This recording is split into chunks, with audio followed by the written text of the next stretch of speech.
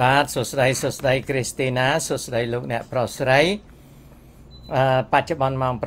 9:58នាទីយប់ថ្ងៃច័ន្ទទី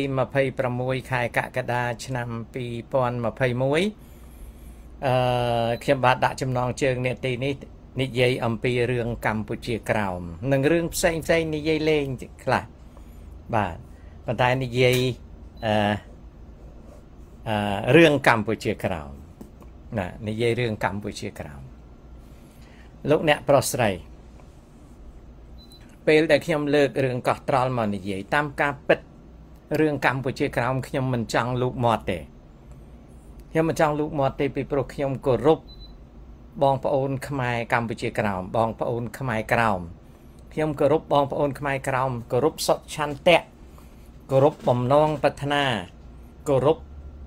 នៅអ្វីអ្វី របស់ខ្មែរក្រោមអ្វីដែលខ្ញុំតាក់ទិននឹងដែនកម្ពុជាក្រោមគឺវាតាក់ទងនឹងកោះត្រល់ទេណាហើយនឹងតាក់ទងលើមតិរបស់បងប្អូនយើងនៅកម្ពុជាណាវាតាក់ទងនឹងបងប្អូនយើងនៅកម្ពុជាវាអត់តាក់ទងនឹងបងប្អូននៅខ្មែរលើទេណាខ្មែរនៅស្រុកថៃនោះអត់ទេវាអត់តាក់ទង នឹងនេះវាតកតងនឹងខ្មែរយើងមួយចំនួននៅកម្ពុជាក៏វាជាប់តកតងនឹងរឿងកម្ពុជាក្រោមតាមការពិតខ្ញុំអត់ចង់ជលក់មាត់រឿងកម្ពុជាក្រោមទេពីព្រោះខ្ញុំគោរពសុឆន្ទៈបងប្អូនខ្មែរក្រោម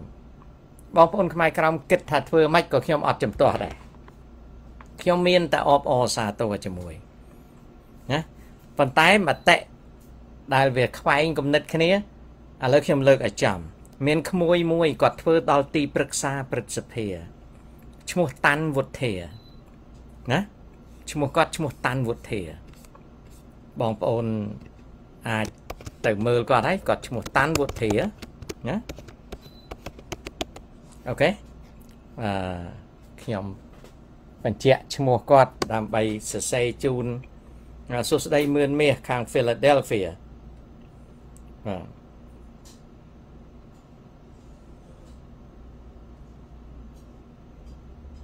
មិនមែនតែក្មួយម្នាក់ទេប៉ុន្តែ ដោយសារក្មួយនឹងគាត់ថាខ្ញុំអាភ្លើខ្ញុំអាឈួតអាញៀនឆ្នាំគាត់ធ្វើដល់ប្រធាន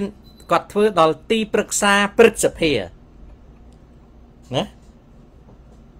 ហើយគាត់ថតជាមួយសម្ដេចហ៊ុនសែនទៀតណាប៉ុន្តែគាត់កំពុងតែគិតថាសម្ដេចហ៊ុនសែនល្ងងជាងគាត់រឿងកម្ពុជាក្រោមព្រោះគាត់និយាយថា អ្នកដែលនិយាយថាកម្ពុជាក្រោមនឹងវាអត់អាចនឹងមកយកវិញបានអីហ្នឹងគឺថាអ្នកហ្នឹងសិតតពួកញៀនឆ្នាំសិតតពួកឈួតពួកភ្លើគាត់គាត់គាត់ជេរខ្ញុំអាឈួតអាភ្លើខ្ញុំអត់ទាំងខឹងគាត់ទេប៉ុន្តែយូរយូរទៅគាត់ធ្វើទីប្រឹក្សាព្រឹទ្ធសភាគាត់ថតជាមួយសម្ដេចហ៊ុនសែនប៉ុន្តែគាត់គិតថាប្រមុខរាជរដ្ឋាភិបាល និងរាជរដ្ឋាភិបាលកម្ពុជានឹងល្ងើជាងគាត់ល្ងើជាងគាត់ពីព្រោះគាត់យល់ឃើញថាគឺជាកម្មសិទ្ធិដាច់ខាតរបស់កម្ពុជា ទឹកដីកម្ពុជាក្រោមណាដល់ពេលខ្ញុំសួរគាត់ថាយើងធ្វើយ៉ាងម៉េចដើម្បីនឹងប្តឹងយកកម្ពុជាក្រោមមកវិញគាត់ឆ្លើយអត់រួចគាត់ជេរខ្ញុំអាភ្លើអាឈួតអាញៀនឆ្នាំណាគាត់បន់នៅខ្ញុំងាប់ ខ្ញុំក៏មិនខឹងដែរណាមិនមិនមិនមិនខឹងនឹងគាត់ទេគ្រាន់តែខ្ញុំដេញដោលថាបើសិនណាជាមានបើសិនណាជាមានអឺអឺម៉ាត់ឈូបាយបង្ហាញខ្ញុំមកណាបង្ហាញខ្ញុំមកគាត់ឈ្មោះតាន់វុធាណាគាត់ឈ្មោះតាន់វុធា នៅក្នុងនៅក្នុង profile របស់គាត់ណានៅក្នុង profile របស់គាត់គាត់ថតគាត់ថតជាមួយនឹងសម្ដេចតាផង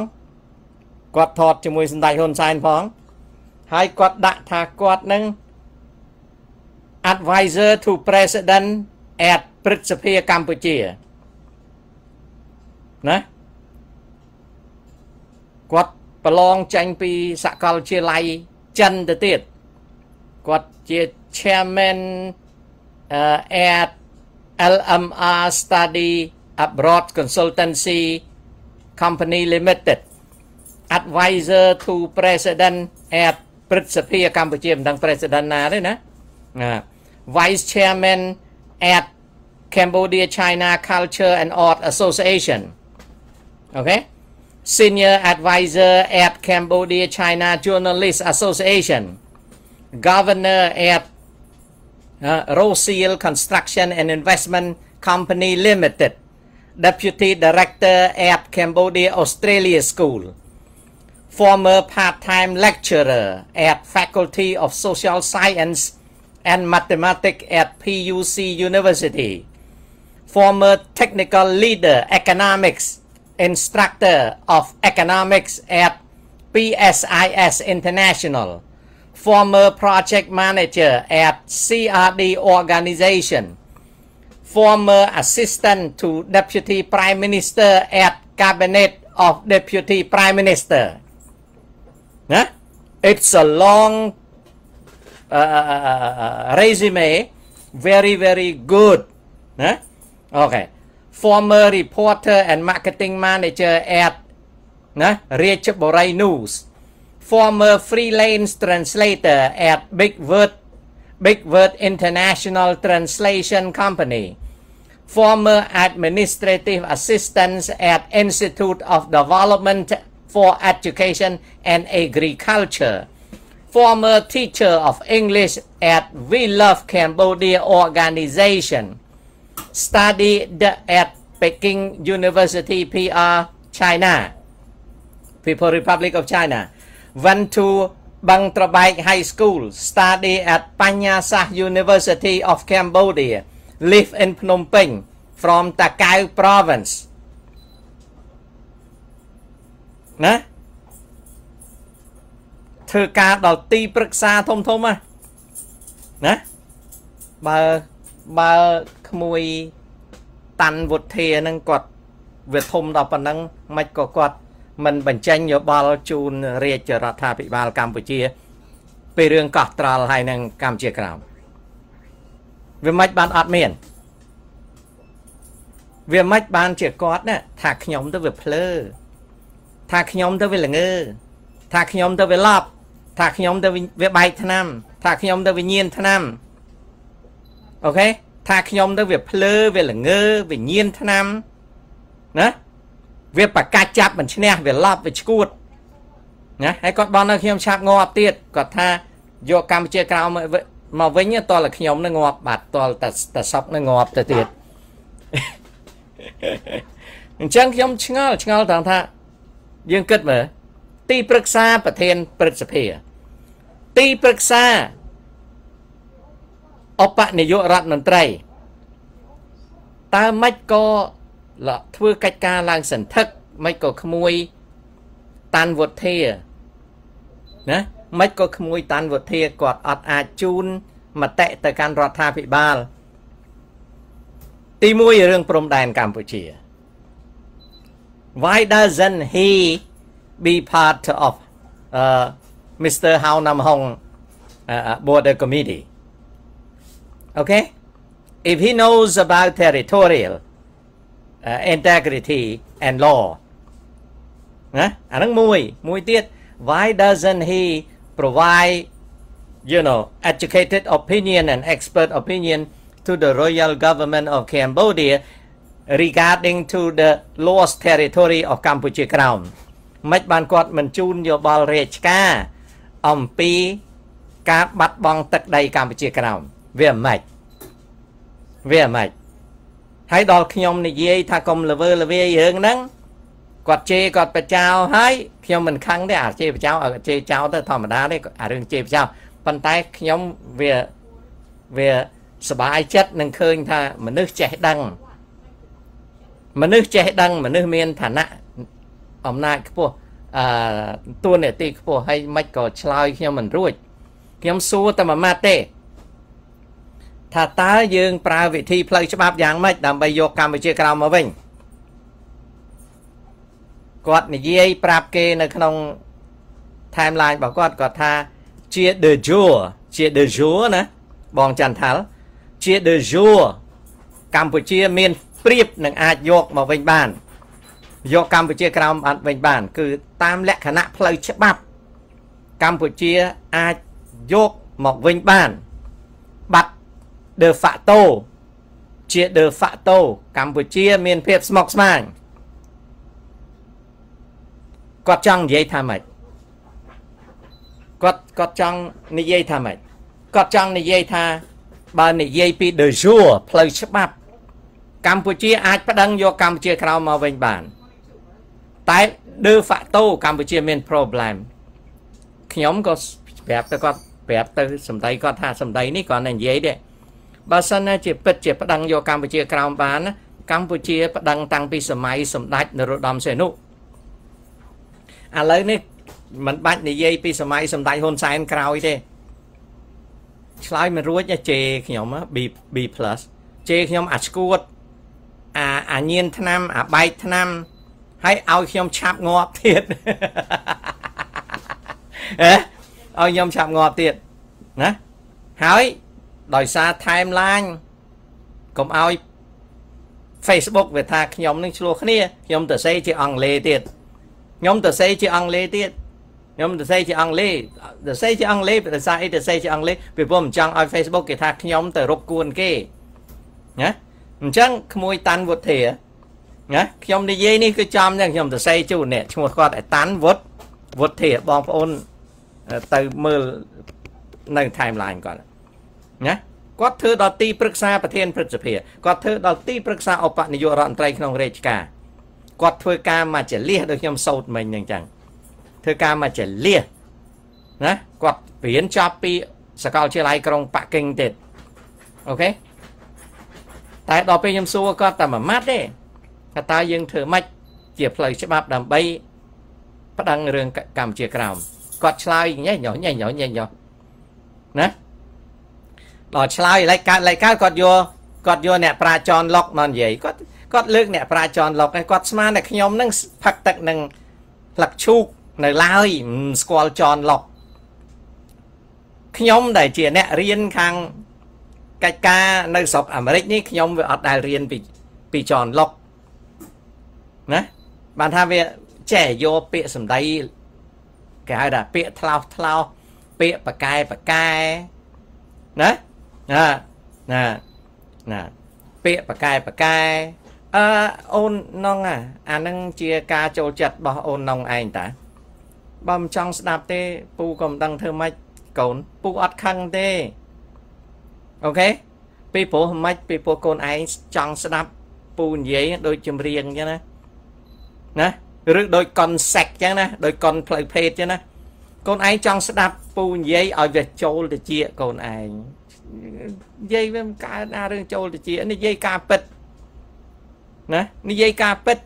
ហើយការពិតនឹងវាមានច្រើនជ្រុងប៉ុន្តែនិយាយការពិតនៅចំពោះមុខយើងកូនឯងចង់ឲ្យនិយាយថាអូ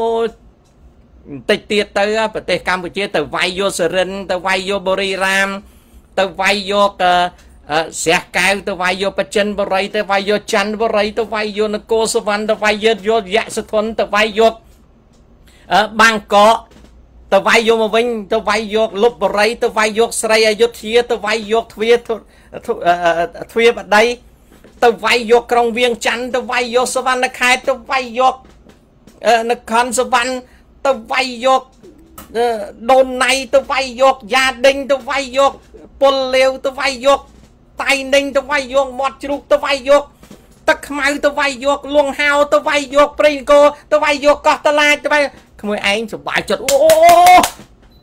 កូនឯងបើចង់អញ្ចឹងកូនឯងតលទៅអាកន្លែងនេះខ្មែរមេកុងនីវអានឹងឈ្មោះវាខ្មែរមេកុងនីវទៅអាហ្នឹងទៅអូវានិយាយពេញចិត្តណាលោកទៀបបាញ់យកកងពិសេសនៃខេមរៈភូមិន្ទទៅលុកចូលផ្ទះ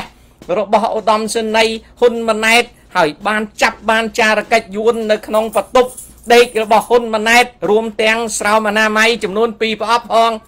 ហើយឥឡូវនេះកងទ័ពលេខ40អង្គភាពរបស់សម្ដេចទាបាញ់កំពុងតែវាយឡើងកោះត្រល់កូនឯងចូលចិត្តអាហ្នឹងកូនឯងទៅទៅអាហ្នឹងឈ្មោះវាមេកុងនេវអូខេអាហ្នឹងឈ្មោះវាមេកុងនេវអូខេទៅទៅតាមពូអីមិនមិនមិន មិនមិនខឹងមិនព្រួយអីទេឥឡូវទៅត្រឡប់ទៅវិញរឿងក្មួយតាន់តាន់វុធាខ្ញុំសូមឆ្ងល់ថាបើសិនណាជាចេះដឹងរឿងកម្ពុជាក្រោមមិនក៏មិនជូនយោបល់ដល់រាជរដ្ឋាភិបាល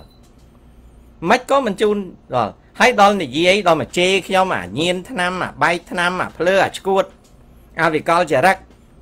ជេរខ្ញុំដោយសារខ្ញុំប្រាប់ថាវាអត់មាន វាអត់មានផ្លូវទៅរួចទេជេរខ្ញុំ មានន័យថាកំពុងតែចង់ប្រាប់សាធារណជនដែលចូលចិត្តសម្ដីគាត់ណាថារាជរដ្ឋាភិបាលនឹងល្ងងជាងក្មួយហ្នឹងតាន់វុធាគាត់គិតថារដ្ឋាភិបាលល្ងងជាងក្មួយហ្នឹងគឺសម្ដេចហ៊ុនសែនហ្នឹងល្ងងណាស់អត់ទាំងដឹងទេឬក៏ចង់និយាយថាសម្ដេចហ៊ុនសែនណាអាយ៉ងយួនទេ អាយ៉ងយួនទេបានជាខ្លាចយួនត្រន់ត្រន់ត្រន់ត្រន់ត្រន់ត្រន់ត្រន់ត្រន់អត់ហ៊ានប្តឹងយួនទេដឹងមិនបានរដ្ឋាភិបាលអត់ហ៊ានប្តឹងយួនទេពីព្រោះសម្ដេចហ៊ុនសែនហ្នឹងគាត់ជាអាយ៉ងយួនគាត់ខ្លាចយួនអូយខ្លាចរាជរដ្ឋាភិបាលគឺជារនុករបស់យួនទេណាក្មួយតាន់វុធាគាត់ទៅធ្វើការហ្នឹងមែនគាត់ជា advisor to the deputy prime minister advisor to the senate of cambodia man but he cannot tell the senate about how to get Cambodia crown back. He cannot explain to the royal government of Cambodia to get Cambodia crown back because Cambodian government is the puppet government of Vietnam. Prime Minister Hun Sen is the puppet ឃើញទេឃើញទេអានោះវាចាញ់តាមផ្លូវហ្នឹងវាចាញ់តាមផ្លូវហ្នឹងខ្ញុំប្រាប់អានឹងសិតតែកពូចស៊ីប៉ែកពូចស៊ីប៉ែដែលខ្ញុំនិយាយឲ្យបងប្អូនដឹងទេ នៅស្រុកខ្មែរណាងាកទៅអូយសម្ដេចល្អសម្ដេចល្អងាកមកណាអត់ល្អទេងាកតែណាខ្ញុំគណៈបកប្រជាជនងាកមកណាអយុត្តិធម៌ណាណាអត់ជួយកែគណៈបកប្រជាជនទេរស់ដោយសារគណៈបកប្រជាជន បានការងារធ្វើដោយសារគណៈបកប្រជាជនរស់បានការងារធ្វើនៅព្រឹទ្ធសភាកម្ពុជា បានការងារធ្វើនៅរដ្ឋាភិបាលបើក សាលារស់ស៊ីដូចគេបានលុយដូចគេចាក់បានប្រាក់ដូចគេហូរសពគ្រប់ប៉ុន្តែដល់ពេលរឿងព្រំដែនមិនចាញ់ស្ដីអីទាំងអស់តែនិយាយរឿងកម្ពុជាក្រោមមានផ្លូវប្តឹងមកវិញដល់ពេលសួរថាណាណាដល់សួរថាសួរថាប្តឹងយ៉ាងម៉េចវាទៅជាឯងហ្នឹងអាបែកឆ្នាំអាឈួតឯណាអស់ចាមកកុំមកអវិញ កុំកុំចូលតែហ្នឹងចាកុំចូលតែហ្នឹងណាចាណាកុំចូលតែហ្នឹងណាចាសម្លាញ់អឺណាវាទៅជាអញ្ចឹងណាណាខ្ញុំគ្រាន់តែសួរមួយម៉ាត់ទេថាតើវាមានវិធីផ្លូវច្បាប់អាម៉េចដើម្បីប្តឹងមកវិញណាអត់ទេទៅជាខ្ញុំអាបែកឆ្នាំអាឈួតឲ្យងាប់ឆាប់ទៅតលវាងាប់បានយកកម្ពុជាក្រោមមកវិញបានវាតលខ្ញុំងាប់ អញ្ចឹងហើយខ្ញុំសូមអភ័យទោសពីបងប្អូនខ្មែរក្រោមថាខ្ញុំមិនចង់ជាលក់មាត់ទេរឿងកម្ពុជាក្រោមប៉ុន្តែខ្ញុំឃើញវាចេះខ្លាំងពេកវាចេះខ្លាំងពេកវាសិតតែឯងនឹងបែកឆ្នាំវាសិតតែឯងនឹងឆ្លក់ឥឡូវខ្ញុំនិយាយរឿងកម្ពុជាក្រោមតទៅទៀតអូខេណាអា No រ៉ាមីភេភេរៈយុទ្ធខ្ញុំមិនមែនទៅតែចែកទេ ប៉ុន្តែខ្ញុំចង់ដឹងថាអាមនុស្សដែលរស់នៅ ក្រោមមលុបបនបារមីនៃនៃសម្ដេចតេជោណាហើយវាបានទៅរៀនស្រុកចិនហ្នឹងក៏ដោយសារតំណាក់តំណងសម្ដេចតេជោជាមួយចិនហ្នឹងបានក្បាលវាហ្នឹងបានទៅរៀនណាក្បាលវាបានទៅរៀនហ្នឹងដោយសារសម្ដេចតេជោហើយវារស់ស៊ីមានបានដោយសារសម្ដេចតេជោណាហើយវាទៅបានបានធ្វើការព្រឹទ្ធសភាហ្នឹងក៏វាខ្សែគណៈបកប្រជាជនណាបានធ្វើប៉ុណ្ណឹង ហើយវាឡើងទៅដល់វាំងដល់ដល់វាហ្នឹងអាហ្នឹងវាសួរខ្សែឡើងតាណាប៉ុន្តែដល់ពេលសួរវាពិតប្រកបថាកម្ពុជាក្រោមទៅដោះស្រាយយ៉ាងម៉េចផ្លូវច្បាប់វាថាឯងបែកឆ្នាំបែកឆ្នាំដល់ទីបំផុតយូរយូរវានិយាយយូរយូរទៅណាយូរយូរទៅវាទៅជាអូគេ former ទេគេឈប់ហើយ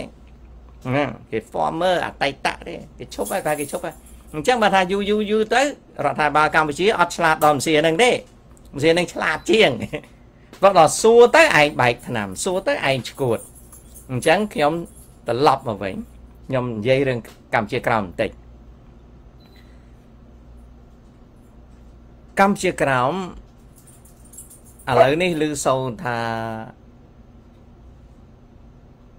ខ្មែរមាន20ប៉ុន្មាន26ខេត្តហ៎ ខ្ញុំសូមជំរាបបងប្អូនថារឿង26ខែនេះខ្ញុំអត់ដឹងទេណាខ្ញុំអត់ដឹងទេណាបងប្អូនណាខ្ញុំអត់ដឹងទេ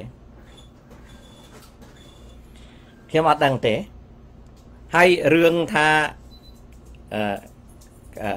កម្ពុជាក្រោមនេះប្តឹងមកវិញបានឬមិនបានខ្ញុំគ្រាន់តែលើកយកមកជម្រាបបងប្អូនតែប៉ុណ្ណេះទេ ថាបើប្តឹងបានមិនក៏មិនឃើញប្តឹងណាណាណាបើប្តឹងបានម្ដេចក៏គាត់មិនក៏មិនឃើញប្តឹងខ្ញុំលើកឧទាហរណ៍អឺសហព័ន្ធកម្ពុជាក្រោមបើបញ្ហាដែនដីកម្ពុជាក្រោមអាចប្តឹងបានសហព័ន្ធកម្ពុជាក្រោមប្តឹងខ្លួនឯងប្តឹងខ្លួនឯងប្តឹងខ្លួនឯង ប្តឹងខ្លួនឯងថាដីហ្នឹងដីបារាំងកាត់យកទៅឥឡូវនេះខ្ញុំអត់មានសិទ្ធទេណាខ្ញុំអត់មានសិទ្ធទេខ្ញុំអត់មានសិទ្ធទេសូម្បីតែសហព័ន្ធកម្ពុជាក្រោមជាសមាជិករបស់អាន់ប៉ូណាជាសមាជិករបស់អាន់ប៉ូក៏ឥឡូវហ្នឹងសកម្មភាពរបស់អាន់ប៉ូទៅអត់រួចដែរណាសូម្បីតែកម្ពុជាសហព័ន្ធ ខ្មែរកម្ពុជាក្រោមជាសមាជិករបស់ Unpo ក៏ប្រើមធ្យោបាយ Unpo ហ្នឹងទៅយកសិទ្ធិជនជាតិដើមនៃជនជាតិខ្មែរនៅលើទឹកដីវៀតណាមសប្ងៃអត់បានផងបងប្អូនដឹងហើយមកទល់ថ្ងៃនេះម៉ោងនេះហ่ะសាធារណរដ្ឋសង្គមនិយមវៀតណាមប្រទេសវៀតណាមមិនទទួលស្គាល់អ្វីលើសពី លើសពីអ្វីដែលវៀតណាមអនុញ្ញាតទេណាពីសម័យងៅដិនយាមណាគេពីសម័យងៅដិនយាមគេគេគេឲ្យមានតំណាងរាស្ត្រអឺខ្មែរក្រោមក៏គេឲ្យមានឥឡូវហ្នឹងគេទទួលស្គាល់យ៉ាងម៉េចនៅវៀតណាមតែប៉ុណ្ណឹង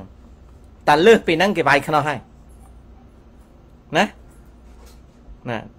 លើសពីហ្នឹងគឺគេវាយខ្នោះហើយគេវាយខ្នោះហើយពីព្រោះគេចាត់ទុកថាទឹកដីហ្នឹងទឹកដីរបស់គេហើយបន្ទាប់មកទៀតដូចជារឿងថាកម្ពុជាកម្ពុជាត្រូវទៀមទាយកកម្ពុជាក្រោមមកវិញកម្ពុជាបានឯករាជ្យពី53ណានៅពេលដែលសម្ដេច ព្រះនរោត្តមសីហនុព្រះអង្គជាលួងនៅឡើយព្រះអង្គបានបរិជ្ជទានឲ្យឪពុកមេរបស់ព្រះអង្គជាព្រះបេតុលារបស់ព្រះអង្គពនាមអឺស្ដេចអឺក្រុមណាស្ដេចក្រុមដូចស្ដេចក្រុមលួងអឺក្រុមលួងចឹងហើយអឺស៊ីសវ័តអឺមុនីពងដែលជាប្អូនរបស់សម្ដេច ក្រុមព្រះស៊ីសវ័តមុនីរ៉េតជាឪពុកមេសម្ដេចដែរជាប្អូនប្រុសបង្កើតរបស់ព្រះមេដារបស់សម្ដេចឪសែនុទ្រង់មនីរ៉េតហើយនិងទ្រង់មនីពងអឺសម្ដេចឪសែនុកាលលោកនៅជាលួង ឆ្នាំ1946បានឲ្យទ្រង់មនីពងជាតំណាង របស់ព្រះអង្គទៅចុះហត្ថលេខាលើកិច្ចព្រមព្រៀង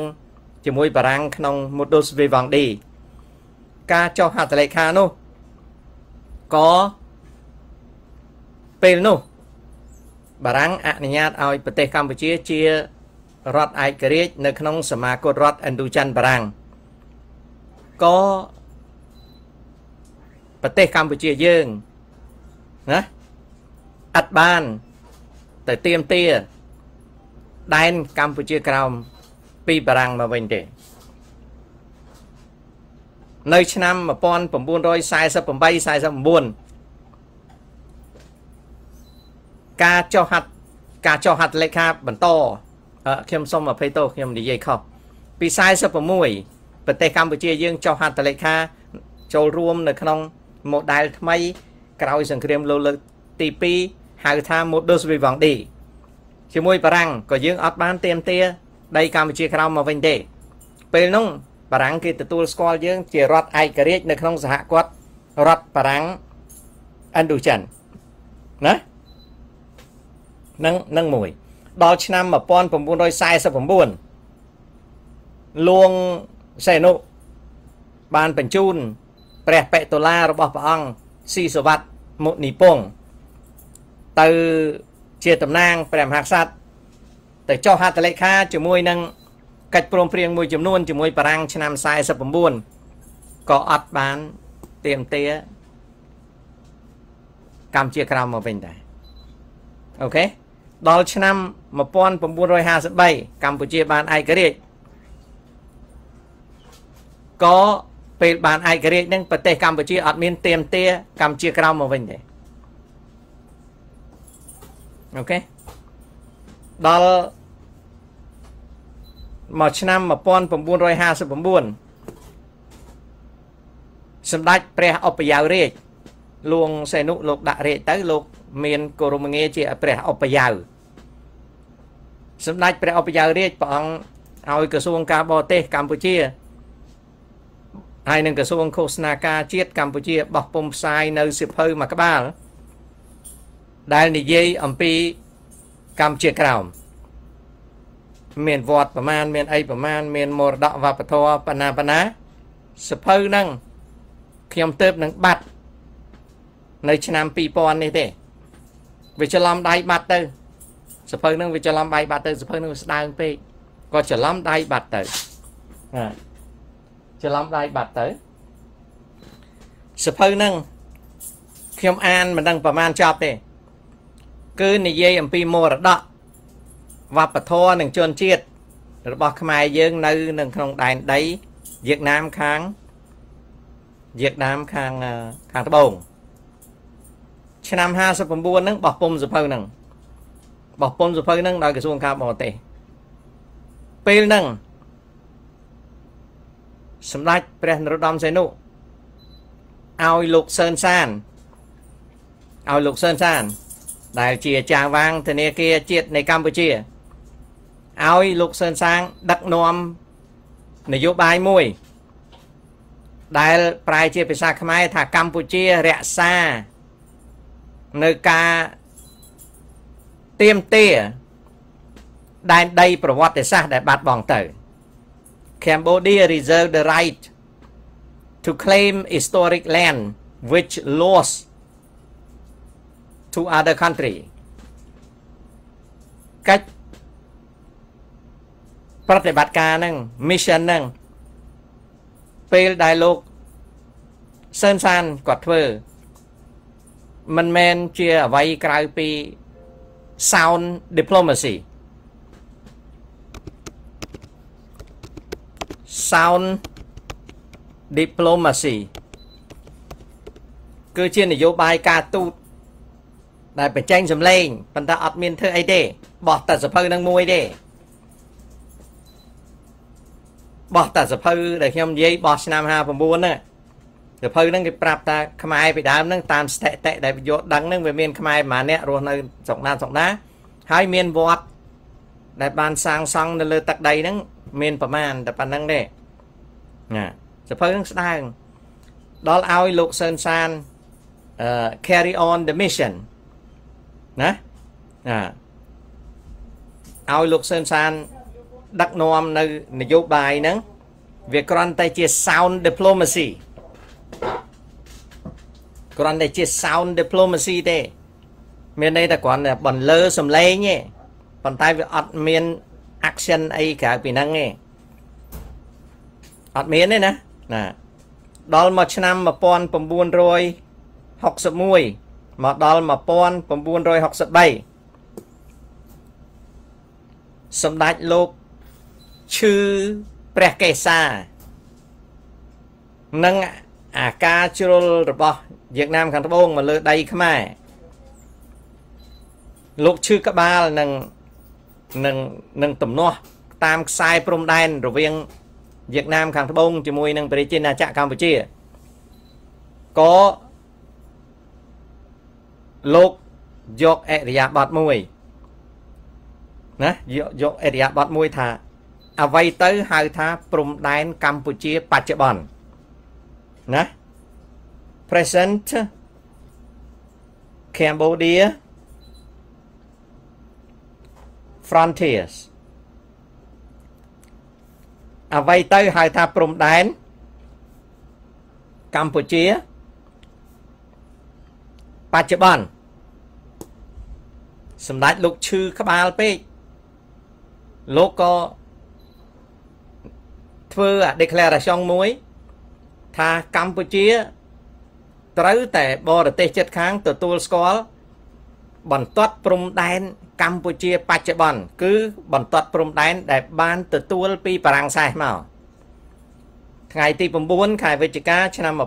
1953ទទួលបានមរតកព្រំដែនពីបារាំងសែសមកត្រឹមណា គឺដាច់ខាតទៀមទាឲ្យបរទេសចិត្តខាង និងបរទេសឆ្ងាយទទួលស្គាល់អ្វីដែលហៅថាព្រំដែនកម្ពុជាបច្ចុប្បន្នតាំងពី1961 63មកណា សម្ដេចលោកទៀមទាឲ្យបរទេសមានយួនមានឡាវមានថៃឡង់ទទួលស្គាល់ព្រំដែនកម្ពុជាបច្ចុប្បន្នហើយឲ្យអាមេរិកកាំងទទួលស្គាល់ព្រំដែនកម្ពុជាបច្ចុប្បន្នដល់ពេល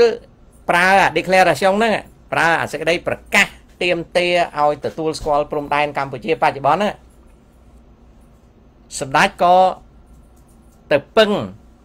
សាធារណរដ្ឋចិនប្រជាមានិតឲ្យជួយបង្កើតការចរចាព្រំដែនមួយពីព្រោះអនាគតទៅយួនខាងជើង ហើយនឹងយាកុងណា the North Vietnamese and the VC would be the victor in Indochina War by estimation in that time ណាបាទអត់មានសភៅទេណារ៉ូ អសភៅដែលខ្ញុំនិយាយនោះគឺសភៅបោះពុំដោយក្រសួងការបរទេសកម្ពុជា ដាក់ចំណងជើងថាកម្ពុជាក្រោមណា The Lowland Cambodia ជាភាសាអង់គ្លេសផងជាភាសាបារាំងផងសភៅស្ដាងលហៀណាសភៅនឹងបោះពុំឆ្នាំ1959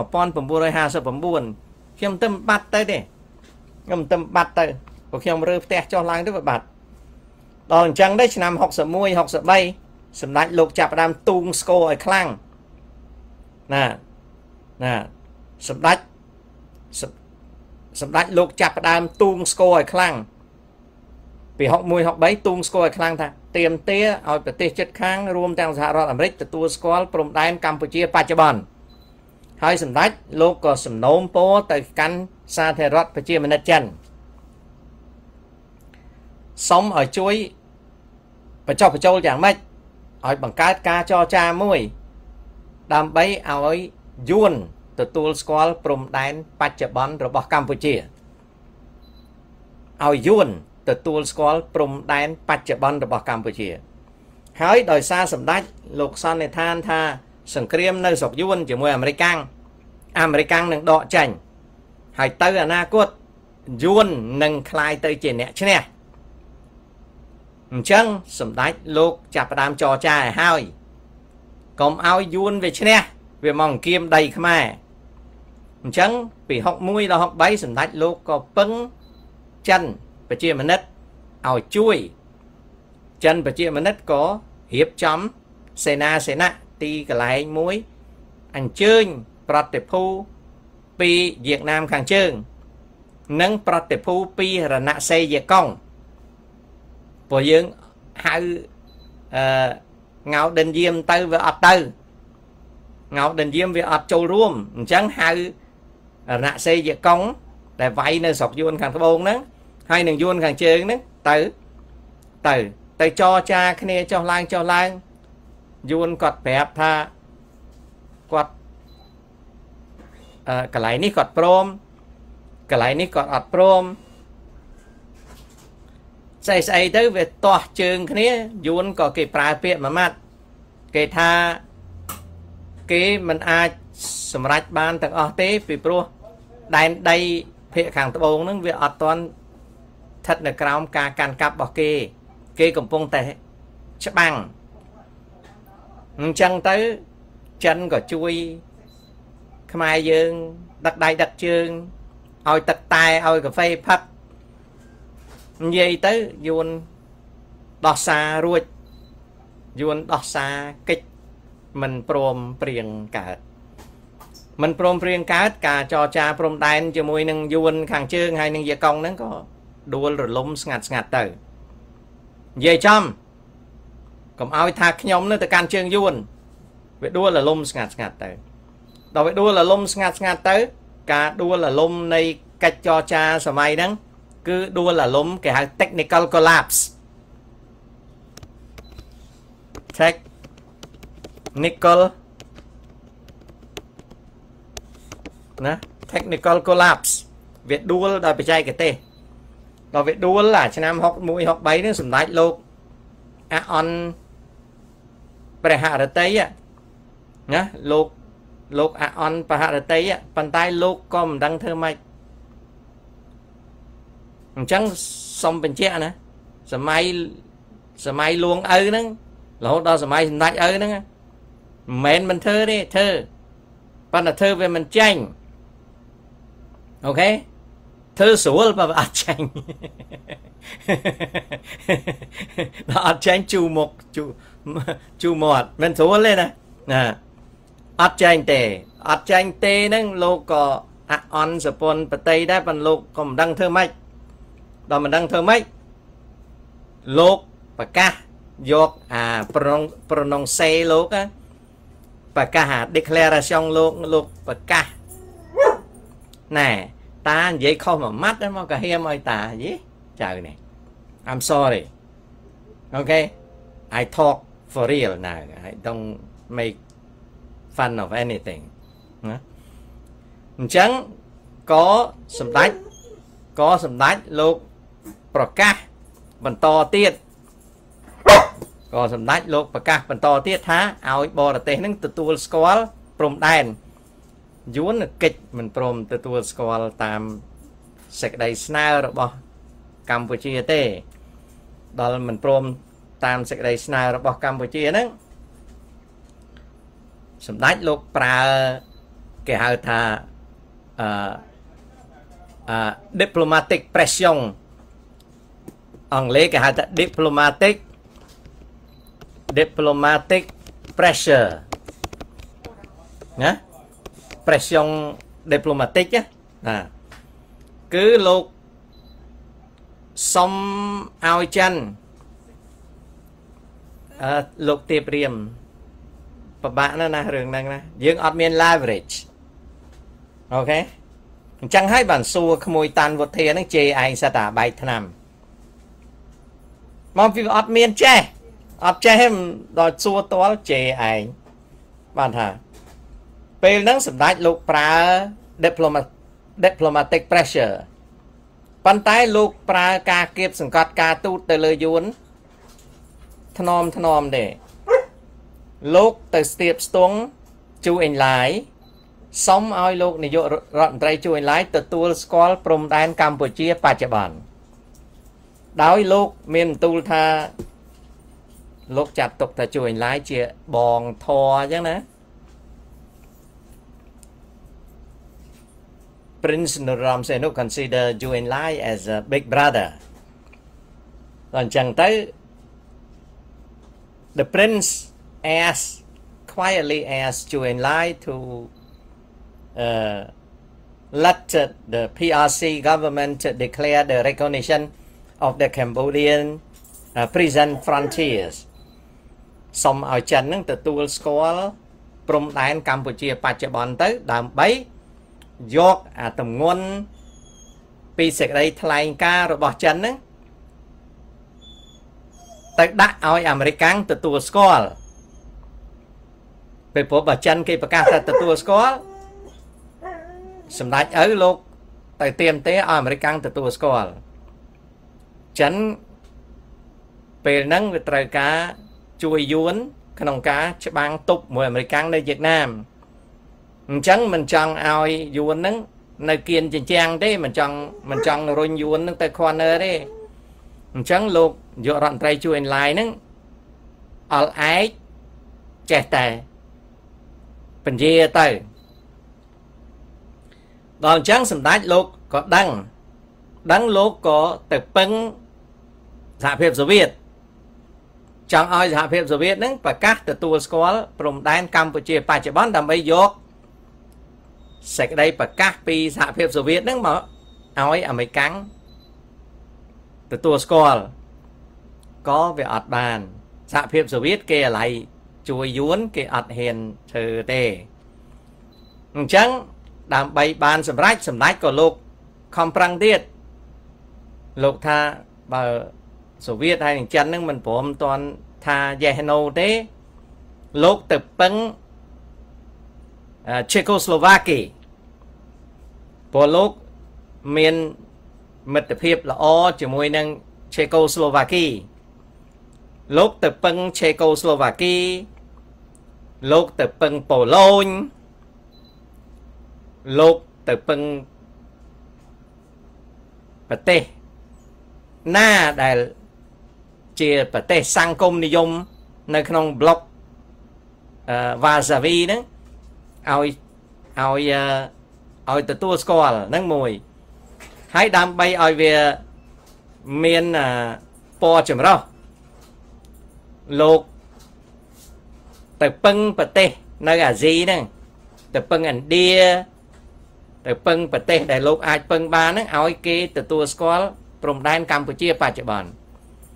ហើយមិនត្រឹមតែប៉ុណ្្នឹងទេលោកចំណាយពេលដើរទៅពឹងពួកអាព្រិកឲ្យប្រទេសអាព្រិកដែលលោកស្គាល់អញ្ចឹងហើយបានជាលោកអញ្ចឹងហើយបានជាលោកទទួលស្ដេចអេទីអូពីព្រះចៅអធិរាជអីស៊ីឡាសៀគេនោះណាទទួលស្ដេចអាព្រិកហ្នឹង Emperor អីអីណាស៊ីឡាសៀហ្នឹងឲ្យលោក Emperor ហ្នឹងយាងមកស្រុកខ្មែរខ្មែរឈប់អស់មួយអាទិត្យលើកប៉ាណូឲ្យឡើងធ្លាយញើសទាំងបាវទាំងបាវទាំងផោមទាំងផោមណាអេបងចន្ទថាបាទធ្លាប់ទៅលើកប៉ាណូជាមួយនឹង Emperor Silashe មកមកបំពេញដែរមើលទៅណាបើអញ្ចឹងទៅក៏ខំប្រឹងហៅមេដឹកនាំបរទេសហ្នឹងដើម្បីមកលេងស្រុកខ្មែរក្នុងគោលដៅ ចែចង់ឲ្យបរទេសហ្នឹងគេទទួលស្គាល់ព្រំដែនកម្ពុជាបច្ចុប្បន្នហើយលោកឲ្យអារវយរបស់លោកលើសង្គមណាលើសង្គមលោកមានរវយរវយ politic មួយណាលោកឲ្យអាទស្សនាវដ្តីលោកលើសង្គមហ្នឹងគឺផ្សាយលិខិតទទួលស្គាល់ណាផ្សាយលិខិតទទួលស្គាល់ណា ណាផ្សាយលិខិតទទួលស្គាល់ព្រំដែនកម្ពុជាបច្ចុប្បន្នដោយសារតាហេតុនឹងហើយណាអាប៉ាងបើតាឈួតតាមានពេទ្យកូនចាំតាទៅពេទ្យប៉ុន្តែបើកូនឯងភ្លើអត់ដឹងប្រវត្តិសាស្ត្រហើយល្ងើតាមអានំប៉័ងផ្អូមឬក៏ល្ងើតាមតាន់វុធា អាហ្នឹងអត់មានពេទ្យមើលទេនៅស្រុកយើងណាកូនអូខេប៉ាងបុណ្យរិទ្ធតាឈួតតាមានពេទ្យណាកូនហើយតាអត់មានទៅដុតផ្ទះគេទេតានៅអាមេរិកណែតែបើកូនឯងភ្លើឧបមាថាកូនឯងភ្លើតាមអានំប៉័ងផ្អូមទៅកវេកវោនៅព្រំដែនកងអានយួនធាក់ប្រកាច់ធាក់ប្រកាច់ ហើយបើហ៊ានតានិយាយផ្ដេសផ្ដាស់ឲ្យរដ្ឋាភិបាលជាប់គុកជាប់គុកទៀតពីព្រោះសិតតែរឿងនយោបាយដែលគេស្រឡាញ់ទឹកដីគ្រប់គ្នាហើយល្អជាងគេណាប៉ាងបុណ្យរិទ្ធឧបមាតាតាស្គួត តាមវកូនឯងទៅវាយយួនឥឡូវទៅកូនទៅវាយយួនឥឡូវទៅមិនចាំបាច់យួនវាយកូនឯងទេគ្រាន់តែ សំផឹងយួនតាមព្រំដែនដែលវាឆ្លងមកលេងបៀណាណាឬក៏លេងកតុយលេងណាគ្រាន់តែវានោមដាក់ក្បាលកូនឯងក៏ងាប់ដែរកូនឯងគ្រាន់តែឆ្លក់ទឹកនោមយួនហ្នឹងក៏ងាប់ដែរមិនចាំបាច់ទៅវាយយួនទេគ្រាន់តែយួនវានោមមកចុចចុចចុចចុចចុចចុចចុចកូនឯងលងងាប់បាត់ទៅហើយលងងាប់បាត់ហើយដល់ពេលកូនឯងចាប់ជាតិមកទៅជាតិដង្កូវនៅក្នុងប្រព័ន្ធអាចយួនដោយសារតែល្ងង អូខេយល់ទេអញ្ចឹងស្ដាប់ឲ្យមែនតែនបើកូនឯងចង់ខំបានទឹកដីកម្ពុជាក្រោមមកវិញ ទៅចូលរួមជាមួយបងប្អូនខ្មែរក្រោមទៅប៉ាងប៊ុនណារិតកុំនៅស្រុកខ្មែរកូនកុំនៅស្រុកខ្មែរពីព្រោះខ្មែររវល់ការពារទឹកដីខ្មែរនេះយល់ទេកូនកូនឯងទៅនៅជាមួយកម្ពុជាក្រោមទៅខ្ញុំម្ដាយពូជខ្មែរក្រោម ណាដែលខ្ទៀតមកនៅស្រុកខ្មែរកណ្ដាលនេះដោយសារអីដោយសារយួនវាប្លន់ណាអូខេឲ្យដឹងអូខេអញ្ចឹងដល់ពេលសម្ដេចលោកធ្វើនយោបាយការទូតនឹងចុះឡើងចុះឡើងទៅលោកក៏កវែកកឆ្នាំងបានប្រទេសមួយចំនួនពីឆ្នាំ63មក 63មក64 65 66ដល់បានដល់66ហ្នឹងលោកក៏បានប្រទេសមួយចំនួនណាបានប្រទេសមួយចំនួនហ្នឹងទទួលស្គាល់លោកណាទទួលទទួលស្គាល់ព្រំដែនកម្ពុជាបច្ចុប្បន្នលប៉េះលប៉ោះប៉ុន្តែអានោះវាជា គេហៅថាមជ្ឈដ្ឋានការទូតណា តែរឿងដែលវាខ្វះខ្វះត្រង់ថាអាប្រទេសថៃឡង់ហ្នឹងអាប្រទេសឡាវហ្នឹងអាប្រទេសវៀតណាមខាងត្បូងហ្នឹងវាអត់ទទួលស្គាល់អាប្រទេស3ហ្នឹងវាអត់ទទួលស្គាល់ព្រំដែនកម្ពុជាបច្ចុប្បន្នទេវាថាវាមានដំណោះវាត្រូវចរចាដល់អញ្ចឹងទៅការដែលលោកបានប្រទេសដតីដតីដែលឆ្ងាយពីព្រំដែនកម្ពុជានឹងទទួលស្គាល់វាជាសកម្មភាពការទូតប៉ុន្តែវាអត់សូវមានទម្ងន់ទេ អត់មានទម្ងន់ទេបាទសម័យប្រទេសដែលជាប់ព្រំដែនកម្ពុជានឹងអត់ទទួលស្គាល់ដល់អញ្ចឹងដល់ឆ្នាំ1966សម្ដេចលោកដូនយោបាយបន្តិចលោកដូថាឥឡូវនេះអាមេរិកកាំងវាជ្រុលកប៉ាល់ហោះចូលមកចូលមកលើដីខ្មែរចូលមកដាក់ដាំចូលមកអូយ៉ាដាចូលមក ចន្ទ្រាចូលមកចំពោះទាស្វាយរៀងអីណាចូលតាណាក៏ដោយឲ្យតាអាមេរិកកាំងវាជ្រុលចូលមកសម្ដេចលោកសញ្ញោ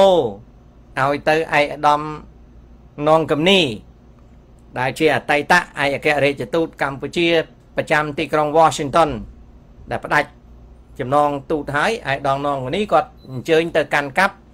កិច្ចការទូត របស់កម្ពុជានៅក្រុង New Delhi អញ្ចឹងដោយសារមានខ្សែរយៈខ្លះសម្ដេចលោកសញ្ញោប្រាប់អាកាំងថាបើអាកាំងធ្លាក់កប៉ាល់ហោះបើអាកាំងជ្រុលជ្រោះមកកងទ័ពកម្ពុជាចាប់បានខាត់ខ្លួនបានកងទ័ពខាងរាជរដ្ឋាភិបាលកម្ពុជាមិនយកទោសយកបៃទេណាមិនយកទោសយកបៃទេ ឲ្យអាកាំងហ្នឹងទៅវិញចាត់ទុកថាជាហត់ប្រសូតឆ្នាំ66ណាចាត់ទុកថាជាការដេញកវែលប្រមាញ់យកកង់អីជ្រុលមកណាអញ្ចឹងសម្ដេចលោកប្រាប់ថាលោកបាត់ភ្នែកមួយលោកបើកភ្នែកមួយប៉ុន្តែអាមេរិកត្រូវទទួលស្គាល់ព្រំដែនកម្ពុជាបច្ចុប្បន្នជា pronounce ជា statement from the US government or State Department recognize Cambodia border in that time in 1966 សម្ដេចលោកក៏សញ្ញោចុះសញ្ញោឡើងទៅពេលហ្នឹងប្រធានាធិបតីកេណាឌីត្រូវគេសម្លាប់ហើយណានៅ63 66ហ្នឹងប្រធានាធិបតីថ្មីហ្នឹងក៏បានបញ្ជូនប្រេសិត special envoy មួយឲ្យមកតាក់ទងឲ្យមកគាល់សម្ដេច ណាគឺលោក Chester Bowl ឲ្យលោក Chester Bowl នឹងមកតាក់ទងសម្ដេចមកទោះបីថាអត់មានទូតជាមួយគ្នាមែនប៉ុន្តែឲ្យលោក Chester Bowl នឹងជាប្រេសិតពិសេសរបស់ប្រធានាធិបតីសហរដ្ឋអាមេរិកមកគាល់សម្ដេចឪក៏មកគាល់សម្ដេចឪពេលហ្នឹងអាមេរិកកាំង ប្រាប់ហើយថាអាមេរិកកាំងសុកចិត្តទទួលស្គាល់ព្រំដែនកម្ពុជាបច្ចុប្បន្នជា pronounce ជាការប្រកាសហ្មង ហើយក៏ជួយឧទ្ធម្ភាគចក្រប្រមាណគ្រឿងដល់កម្ពុជា ហើយនឹងឲ្យលុយមួយចំនួនដល់កម្ពុជា ដើម្បីឲ្យកម្ពុជានឹងជួយជាចំណែកមួយឧបត្ថម្ភឲ្យ ICC នឹងបន្តបេសកកម្មដើម្បីជួយឃ្លាំមើលព្រំដែននឹងផង ណាព្រមព្រៀងគ្នាទៅក៏លោក Chester Bowl នឹងវិលទៅវិញវិលទៅវិញហ្នឹងចៃដន្យអីរឿងហ្នឹងក៏វាលេចលឺដឹងទៅដល់ខាងយាកុងហើយនឹងយួនខាងជើងគេក៏បំផិតបំភ័យសម្ដេចគេបំផិតបំភ័យសម្ដេចដោយគេទៅចាក់រុកខាងសម្ព័ន្ធមិត្តកុម្មុយនីស ថាសម្ដេចហ្នឹងចូលអាកាំងអញ្ចឹងគេក៏បង្កើតបាតុភិបឲ្យសម្ដេចដឹង ថាបើសិនណាជាសម្ដេចក្បត់ចិត្តគេអញ្ចឹងណាសុកចិត្តទទួលជំនួយគេអត់និយាយរឿងព្រំដែនទេគេថាសម្ដេចក្បត់ចិត្តគេសម្ដេចទទួលជំនួយអាកាំងអញ្ចឹងអឺគេនឹងលំសម្ដេច និយាយត្រង់គេគេបង្ហុយផ្សែងមកគេថាសម្ដេចនៅអត់បានទេគេលំសម្ដេចគេលំសម្ដេចគេលំដាច់អញ្ចឹងហ្មងគេនិយាយអញ្ចឹងហ្មងណាគេបង្កើតរូបភាពមួយថាសម្ដេចក្បត់គេថាសម្ដេចក្បត់ចិត្តជួញឡាយក្បត់ចិត្តផាំយ៉ាងដងក្បត់ចិត្តរុស្ស៊ីអីអត់ នេះអញ្ចឹងហើយគេទៅប្រាប់ប្រទេសមិនចូលបកសម្ព័ន្ធថាសម្ដេចអត់ស្រួលទេចង់ងាកទៅអាកាំងវិញហើយសម្ដេចលោកអត់បានងាកទៅអាកាំងទេតាមការពិតលោកចង់ឲ្យគេទទួលស្គាល់ព្រំដែនកម្ពុជាហើយបងប្អូនឃើញនឹងបាក់ប៉ុណ្ណាដូចលោកមួយសេមិញថាវាអត់មាន leverage ណាខ្មែរមានយល់ណារឿងអញ្ចឹងអញ្ចឹង អត់ដឹងទេណាដល់ពេលអញ្ចឹងទៅក៏សម្ដេចលោកភ័យដែរលោក panic លោក panic មិនមែនស្រុកខ្មែរមានទាហានប៉ុន្មានលោកអាយលោកស្រុកខ្មែរអត់មានទាហានហើយបលិសសម្ងាត់ស្រុកខ្មែរស្មាតោបលិសមនស្ងោណា មានសមត្ថភាពអីណាបើយើងទៅបានឯករាជ្យ53ណាកម្លាំងយើងវាអត់ខ្លាំងក្លាទេ យើង បានរៀបចំស្រុកដោយសារយើងមានសន្តិភាពអញ្ចឹងសម្ដេចលោក panic ណាសម្ដេចលោក panic panic មានន័យថាលោកស្លន់ស្លោណាលោកស្លន់ស្លោលោកប្រកាស ប្រាប់វិញលោកថាអេអត់មានអត់មានអត់មានអត់មានអាយដាម Chester Bowl អញ្ជើញមកអញ្ជើញមកសួរសុកទុកធម្មតានិយាយកែកែអីហើយអាមេរិកកាំងហ្នឹងឲ្យអញ្ចឹងមែនប៉ុន្តែខាងខ្ញុំសេនុនឹងអត់ទទួលទេណាអត់ទទួលអេលីកុបទ័រអត់ទទួលលុយអត់ទទួលអីទេអត់ទេណាអត់មានទេអត់មានគ្មានត្រូវការទទួលអីពីនេះគឺមកនិយាយគ្នាហ្នឹងគឺអាមេរិកគេមកស្ទាបស្ទងអីអញ្ចឹងគេមកមែនប៉ុន្តែអត់មានទទួលអីទេប្រកែកបដ ாய் ប្រកែកបដ ாய் ទៅខាងយួនហ្នឹងខាងផាំយ៉ាងដងហ្នឹងក៏តាក់តងទៅលោកជួយឡាយក៏តាក់ទងទៅរុស្ស៊ីអីតាក់ទងចុះឡើងអីចឹងទៅ តាមពិតគេដឹងហើយគេដឹងថាសម្ដេចសម្ដេចលោកលោកព្រួយហ៎ចុះលោកតូចគេចង់ញិចលោកអង្កលក៏បានដែរនិយាយត្រង់ណា កុំភ្លើបើភ្លើផ្លត់លើហ្នឹងណាអញ្ចឹងគេថាអូសម្ដេចផែនិកឥឡូវសម្ដេចផែនិកគេឲ្យចិនមកលួងលោមគេសុំឲ្យជួយឡាយលួងលោមជួយឡាយលួងលោមសម្ដេចទៀតថាសម្ដេចអត់មានអ្នកណាអាចមករំលំសម្ដេចបានទេព្រោះចិនគាំពៀសម្ដេចចិនរាប់រយលានអ្នកគាំពៀសម្ដេចមិនឲ្យសម្ដេចទៅណាប៉ុន្តែសុំសម្ដេចតម្កល់អរិយាប័ត្រនយោបាយសម្ដេចលោកប្រាប់វិញថា អេដាមជួយឡាយខ្ញុំអត់មានដូរនយោបាយទេខ្ញុំត្រូវការការទទួលស្គាល់ព្រំដែនកម្ពុជាមិនមែនកម្ពុជាងាកទៅអាកាំងទេគឺកម្ពុជាត្រូវការការទទួលស្គាល់ឯករាជ្យភាពអធិបតេយ្យភាពបូរណភាពដែនដីកម្ពុជាព្រំដែនបច្ចុប្បន្នជួយឡាយក៏ឆ្លើយប្រាប់វិញថាអូអញ្ចឹងទេហ៎តាមពិតជួយឡាយដឹងទៅហើយ ព្រោះចារកិច្ចចិននៅពេញពេញហ៎កូនធัวសម្ដេចប៉ែនុតក៏ចារកិច្ចចិនដែរសិតតែចារកិច្ចចិនពេញពេញហើយហើយចារកិច្ចយួននឹងកាត់សក់ឲ្យឧត្តមសេនីយកងសីខ្មែរសិតតែជាងកាត់សក់ណាណាចំអិនអាហារនៅវាំងនឹងក៏យួនដែរណា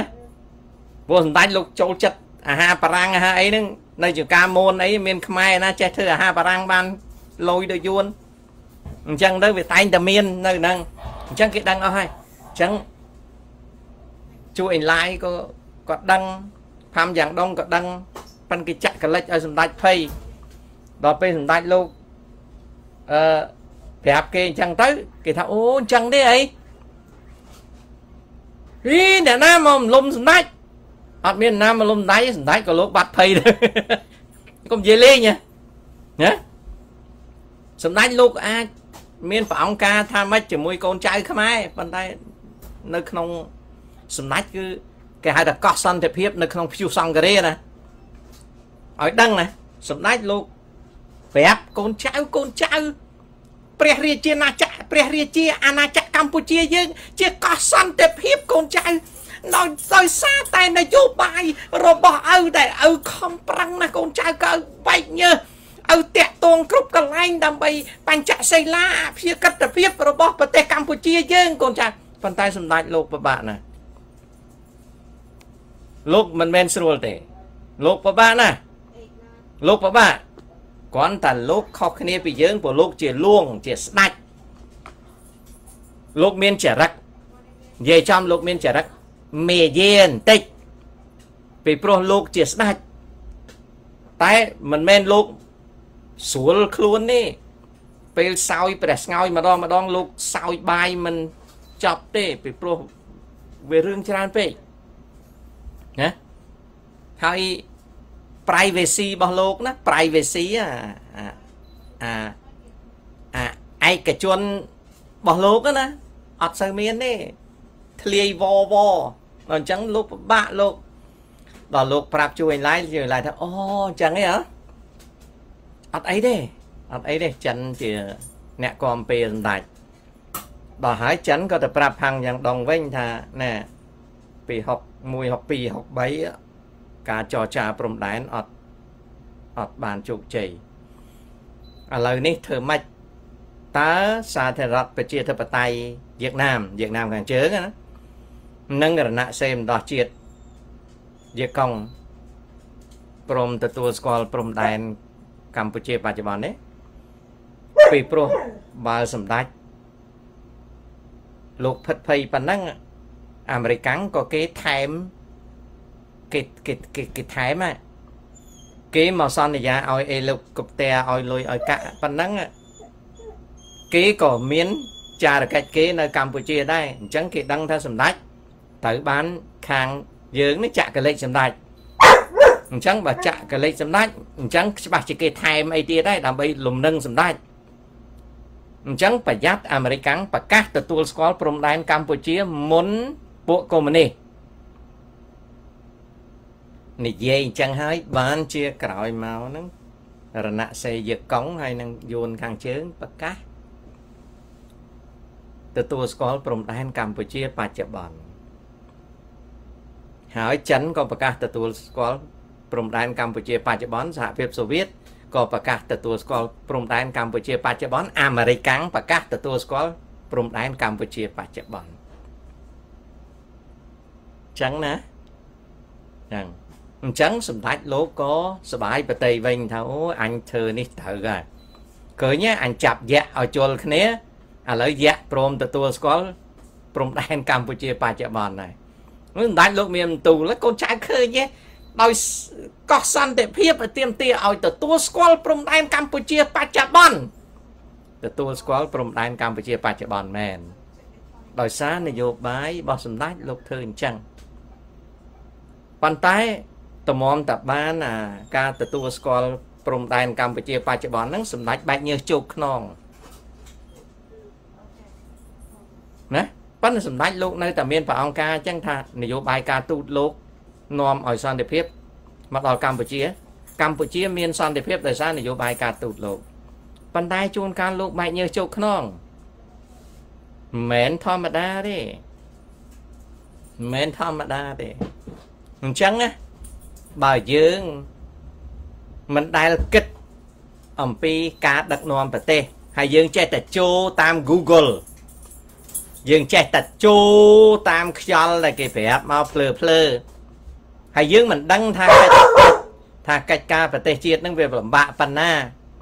យើងក៏មិនដឹងថាទឹកដីដែលបាត់បង់ទៅនឹងវាយ៉ាងម៉េចហើយនឹងទឹកដីដែលមានហើយនឹងការពារយ៉ាងម៉េចដែរអញ្ចឹងដូចតាន់វុធាអីហ្នឹងយូរយូរទៅខ្លួនធ្វើការឲ្យពិតសភាធ្វើការឲ្យអ្នករដ្ឋមន្ត្រីប៉ុន្តែទីបំផុត ទៅជាយល់ឃើញថារដ្ឋាភិបាលហ្នឹងល្ងងជាងខ្លួន ខ្លួនវាចេះជាងវាចេះជាងណាអាហ្នឹងវាអញ្ចឹងណាបងប្អូនវាអញ្ចឹងអញ្ចឹងហើយបានជា66 67ហ្នឹងប្រទេសច្រើនឡើង ចាប់ផ្ដើមទទួលស្គាល់ព្រំដែនកម្ពុជាបច្ចុប្បន្នសម្ដេចក៏លោកមិនមិនដឹងទេថា គេទទួលស្គាល់កម្ពុជាគេទទួលស្គាល់ព្រំដែនកម្ពុជាបច្ចុប្បន្នប៉ុន្តែដល់ពេលគេចូលមកយើងទៅគូសខ្សែគេថាចរចាដល់យើងទៅប្រាប់គេថាហ្នឹងរបស់យើងគេថាគេក៏មានដំណោះនៅលើហ្នឹងហ្នឹងដល់យើងដល់គេដល់យើងយកអាសម្បត្តិហ្នឹងទៅបង្ហាញគេគេថាគេទទួលស្គាល់ជារូបភាពរួមប៉ុន្តែដែលនៅមានចំណុចខ្វះខាតហើយដល់គេចូលមកចងរឹងដេកឬក៏បោះទីតាំងទីពេទ្យនៅលើទឹកដីយើងគេថាគេច្រឡំផែនទី ហើយដល់យើងនិយាយគេថាអាមេរិកកាំងក៏ច្រឡំផែនទីយួនខាងត្បូងក៏ច្រឡំផែនទីអញ្ចឹងយាកុងក៏ច្រឡំផែនទីយាយាណាមខាងជើងក៏ច្រឡំផែនទីអញ្ចឹងអាប្រទេសឡាវក៏ច្រឡំផែនទីហើយអាថៃក៏វាច្រឡំផែនទីសម្ដេចលោកដឹងលោកថាចំកណ្ដុំសែបអានេះច្រឡំផែនទីគ្រប់តែកន្លែងណាអាមេរិកកាំងក៏វាច្រឡំផែនទីចំកណ្ដុំសែបអានេះច្រឡំផែនទីគ្រប់កន្លែង ប៉ុន្តែទោះបីយ៉ាងណាក៏ប្របីមាត់វាថាវាទទួលស្គាល់ព្រំដែនអញដែរណាណាទោះបីយ៉ាងណាក៏គេទទួលស្គាល់ព្រំដែនកម្ពុជាជា pronounce ជា announcement ដែរឃើញទេយល់ទេបងប្អូនអានឹងព្រំដែនកម្ពុជានឹងវាមកអញ្ចឹងមកដល់ផ្ទុះសង្គ្រាមឆ្នាំ70ទៅមិនមែនស្រួលទេ ខ្ញុំមានអា press report ដែលស្ដីអំពីសម្ដេចឪសេនុមកទល់នឹងឆ្នាំ1970តាក់ទងនឹងព្រំដែនហ្នឹងណាគឺមានតាំងពី56 57 58 59 60 61 62 63 64 65 66 67 68 69 70 មិនតិចជាង10000សន្លឹកទេ ដែលជា press report ដែលពីដើមឡើយអង្គការភ្នាក់ងារសម្ងាត់ CA គេប្រើគណៈគេប្រើមន្ទីរគេមួយ ដើម្បីចាប់សម្លេង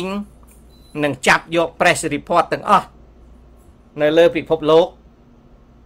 ហើយគេប្រែពីភាសាបរទេសមកជាភាសាអង់គ្លេសគេហៅថា FBIS ស្មើនឹងពាក្យថា foreign broadcast information services ឆ្នាំ1900 somewhere 1996 តាមខ្ញុំចាំ1996អា FBIS នេះគេក៏ឈប់ឈប់ធ្វើទៅអា FBIS នេះគេធ្វើពី1942ហ៎មកឆ្នាំ1996បើសិនជាខ្ញុំចាំច្បាស់ណាណាអាហ្នឹងឈ្មោះគេគេហៅ FBIS មកពីពាក្យថា Foreign Broadcast Information Services ណា Information Services ខ្ញុំបានប្រមូលយក FBIS នឹង ទី1ប្រមូល FBIS អានឹងបោះ CA FBIS ប្រមូលអាហ្នឹងអឺប្រមូល BBC ណានឹងប្រមូលបៃចេញ review របស់ចិនហើយនឹងទីភ្នាក់ងារព័ត៌មានទាំងអស់ដតីណា ដែលនិយាយណាដែលនិយាយរឿងខ្មែរណាហើយដែលចេញជាភាសាអង់គ្លេសណាខ្ញុំប្រមូលបានមិនតិចជាង10000សន្លឹកទេហើយខ្ញុំបានចែកវាជាឆ្នាំចែកវាជាឆ្នាំចែកតាមឆ្នាំខ្ញុំចែកវាតាមឆ្នាំកំចែកវាតាមឆ្នាំកម្ពុជា 1953 Cambodia 1954 Cambodia 1954 1955 1956 1957 58 59 60 61រហូតដល់ឆ្នាំ1973ខ្ញុំរៀបវាមកជួរហើយខ្ញុំប្រមូលបានខ្ញុំដាក់ទៅក្នុងហ្នឹងដើម្បីកាលណាខ្ញុំចង់ដឹងខ្ញុំទៅបើកមើលឆ្នាំហ្នឹងប៉ុន្តែខ្ញុំអត់បានចែកខែទេបានជាខ្ញុំតាមដានទៅខ្ញុំដឹងរឿង ណាដឹងរឿងហ្នឹងអឺណារ៉ាន់ពេជ្រពីមុនជេរតែស្ដាច់ក្រោយមកជេរសម្ដេចហ៊ុនសែនដូចរន្ទះពេលនេះស្អីក៏ល្អពិតជាក្បាលថោកមែនអញថោកឯងកំរស់នៅក្រោមសម្ដេចហ៊ុនសែនអាងាប់ឯងទៅប្រកាច់ណាទៅទៅអាណារ៉ាន់ពេជ្រមិនក៏ឯងមិនប្រកាច់មកនៅអាមេរិកដោយអញអូខេអញជេរសម្ដេចសេនុជេរសម្ដេចហ៊ុនសែនកាលអញរិះគន់អាភ្លើ ឆ្មបកាយឯងចេញពីពោះម៉ែឯងមកហ្នឹងវាកើតជំងឺឈួតទេបានពាក្យរិះគន់ទៅជេជេនោះឯងឯងយកឯងយកផោះតាងមកអញដែលជេម៉ែសម្ដេចសេនុអញដែលជេឪសម្ដេចសេនុអញដែលហៅសម្ដេចសេនុថាឈួតអាក្បត់ជាតិទេអញដែលប្រើពាក្យអស់ហ្នឹងជាមួយសម្ដេចហ៊ុនសែនទេមានតែឈ្មោះកាយឯងចេញពីស្បូនម៉ែឯងមកហ្នឹងវាប្រឡាក់កញ្ចក់ដៃបានឯងយល់ពាក្យថារិះគន់មិនមិនវាទៅជេជេនោះ នឹងអាណារ៉ាន់ពេជ្រអញ្ចឹងឯងទៅសួរម៉ែឯងតើឈ្មោះហ្នឹងកាត់កញ្ចក់ដៃហើយនៅពេលក្បាលឯងកើតមកពីព្រោះខ្លាចកាយពលឹងឯងចេញមកពីស្បូនម៉ែឯងហើយវាពុលបានជាមិនយល់ពាក្យថារិះគន់អញប្រាប់ឯងអញមិនដែលហៅសម្ដេចសេនុចំអេះចំអាស់អ ញមិននិយាយថាសម្ដេចសេនុគាត់ក្បត់ជាតិអញក៏មិនដែលនិយាយថាហ៊ុនសែនក្បត់ជាតិដែរអញប្រាប់ឯងអញរិះគន់នយោបាយមានតែកពូចឯងទេដែលកើតមកអត់យល់ណាអាអាហ្នឹងអញ្ចឹងក្បាលឯងថោកជាងអញឬក៏អញថោកជាងឯងឥឡូវឯងបកែឯងចង់ឈ្នះឯងយកភាសាសំឡេងនៅក្នុង show អញដែលអញរិះគន់លោកហ៊ុនសែនតែអញមានជេរគាត់ទេ អញប្រាប់ឯងសុំបីតែអានំប៉័ងប្អូនក៏អញមិនដែលជេរផង តែបើក្បាលឯងថោកទៀបឈ្មោះកាយមកអត់ល្អអញ្ចឹងវាកើតរោគពឹសអញ្ចឹងអញអញជេរឯងខ្លះឯងឲ្យយល់អូខេនឹងអញប្រាប់ឯងបើឯងភ្លឺឯឯងមុជចូលក្នុងស្បូនម៉ែឯងវិញហើយកើតម្ដងទៀតបើឯងមិនចេះខ្មែរជេណាគេជេគេជេគេជាបចោ គេរិះគន់ផ្សេងអានឹងហើយដែលវាជាទំនាស់នៅក្នុងខួរក្បាលខ្មែរដោយឯងឯងអត់យល់ទេអញនិយាយថាអ្នកណាល្អអញនិយាយពីការលំបាករបស់សម្ដេចនរោត្តមសីហនុដែលជាជីតាតារបស់ឯងទៀតសំបីតែឪម៉ែឯងនឹងមិនទាំងយល់កិច្ចការជាតិផងហើយឯងល្ងើឯងកើតមកណាអញមិនបាននិយាយថាសម្ដេចលោកល្អឬអាក្រក់ទេ អញនិយាយថាតើលោក លំបាកទេដែលលោកជា ជាប្រមុខរដ្ឋជាស្ដេចផែនដីនោះនឹងអញចង់បដៅក្បាលឯងឲ្យយល់កុំភ្លើបើកើតមកភ្លើមុជទៅចូលស្បូនម៉ែឯងឲ្យចេញមកវិញលៀងឲ្យជ្រះហើយបើត្រូវការឆ្នាំអញ្ញាឲ្យមកដបកញ្ជោកខ្លួនឯងឲ្យជ្រះចេញមកកុំឲ្យឈួតអញ្ចឹងអញអត់មាននិយាយអាក្រក់ល្អទេអញនិយាយថាតើគាត់ តើសម្ដេចលោកលំបាកប៉ុណ្ណាណាអញ្ចឹងគេមេដឹកនាំគេក្បត់ជាទាំងអស់ណាអាភ្លើអេហែងរស់នៅស្រុកខ្មែរស្រុកខ្មែរហែងហែងហែងមិនក៏នៅនឹងទៅអីហែងមិនក៏មិនដើរចេញទៅបើស្រុកខ្មែរជាស្រុកអ្នកក្បត់ជាតិឯងដើរចេញទៅហែងមើលអញកាលអញនៅជាមួយខ្មែរក្រហមអញអត់ពេញចិត្តអញដើរចេញណាអញដើរចេញណាអញសឿងមិនសឿងអញអត់មានជាពាក់គុណណាណាទេវើយ អញប្រាប់ឯងសឿងដោយអញកុំឲ្យថោកអូខេអញនិយាយរឿងសម្ដេចសេនោះអញចង់ឲ្យដឹងថាកន្លែងខ្លះគាត់ក៏មានត្រូវកន្លែងខ្លះគាត់ក៏មានខុសនឹងសុំសុំឲ្យយល់អញ្ចឹងដល់ឆ្នាំ66នេះដល់ឆ្នាំ66ហ្នឹងគេទទួលស្គាល់ព្រំដែនកម្ពុជាមកណា គេទទួលស្គាល់ព្រំដែនកម្ពុជាគ្រាន់តែជាប្រណុងសេគឺជា declaration ជាការប្រកាសណាសម្ដេចលោកដឹងតាសម្ដេចឪលោកដឹងតាលោកដឹងណាលោកដឹងលោកដឹងតាលោកយល់តាណាអាខ្មោចងាប់អស់នេះណាពួកអាដេរិឆានអស់នេះណារដ្ឋាដឹងទេ វាអត់ចេះផ្លាស់ប្ដូរទេខួរក្បាលវាងាប់នៅមួយកន្លែងបើវាដេកទៅខាងឆ្វេងវាដេកខាងឆ្វេង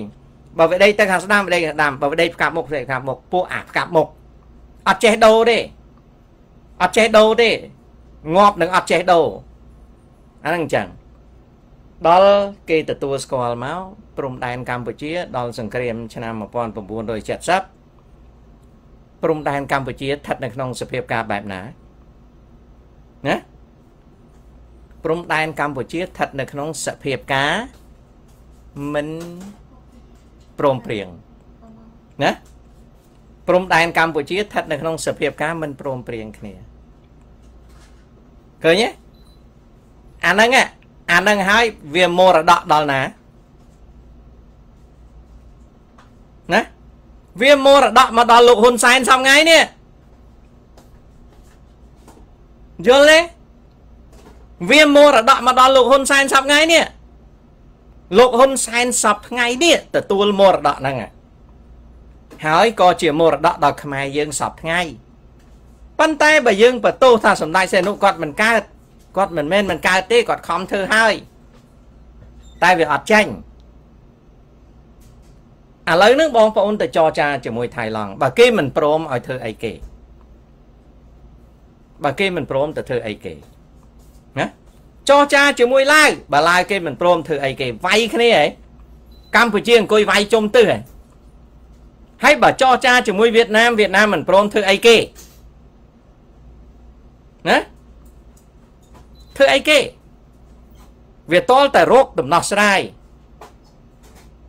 អូខេអាហ្នឹងអញ្ចឹងណា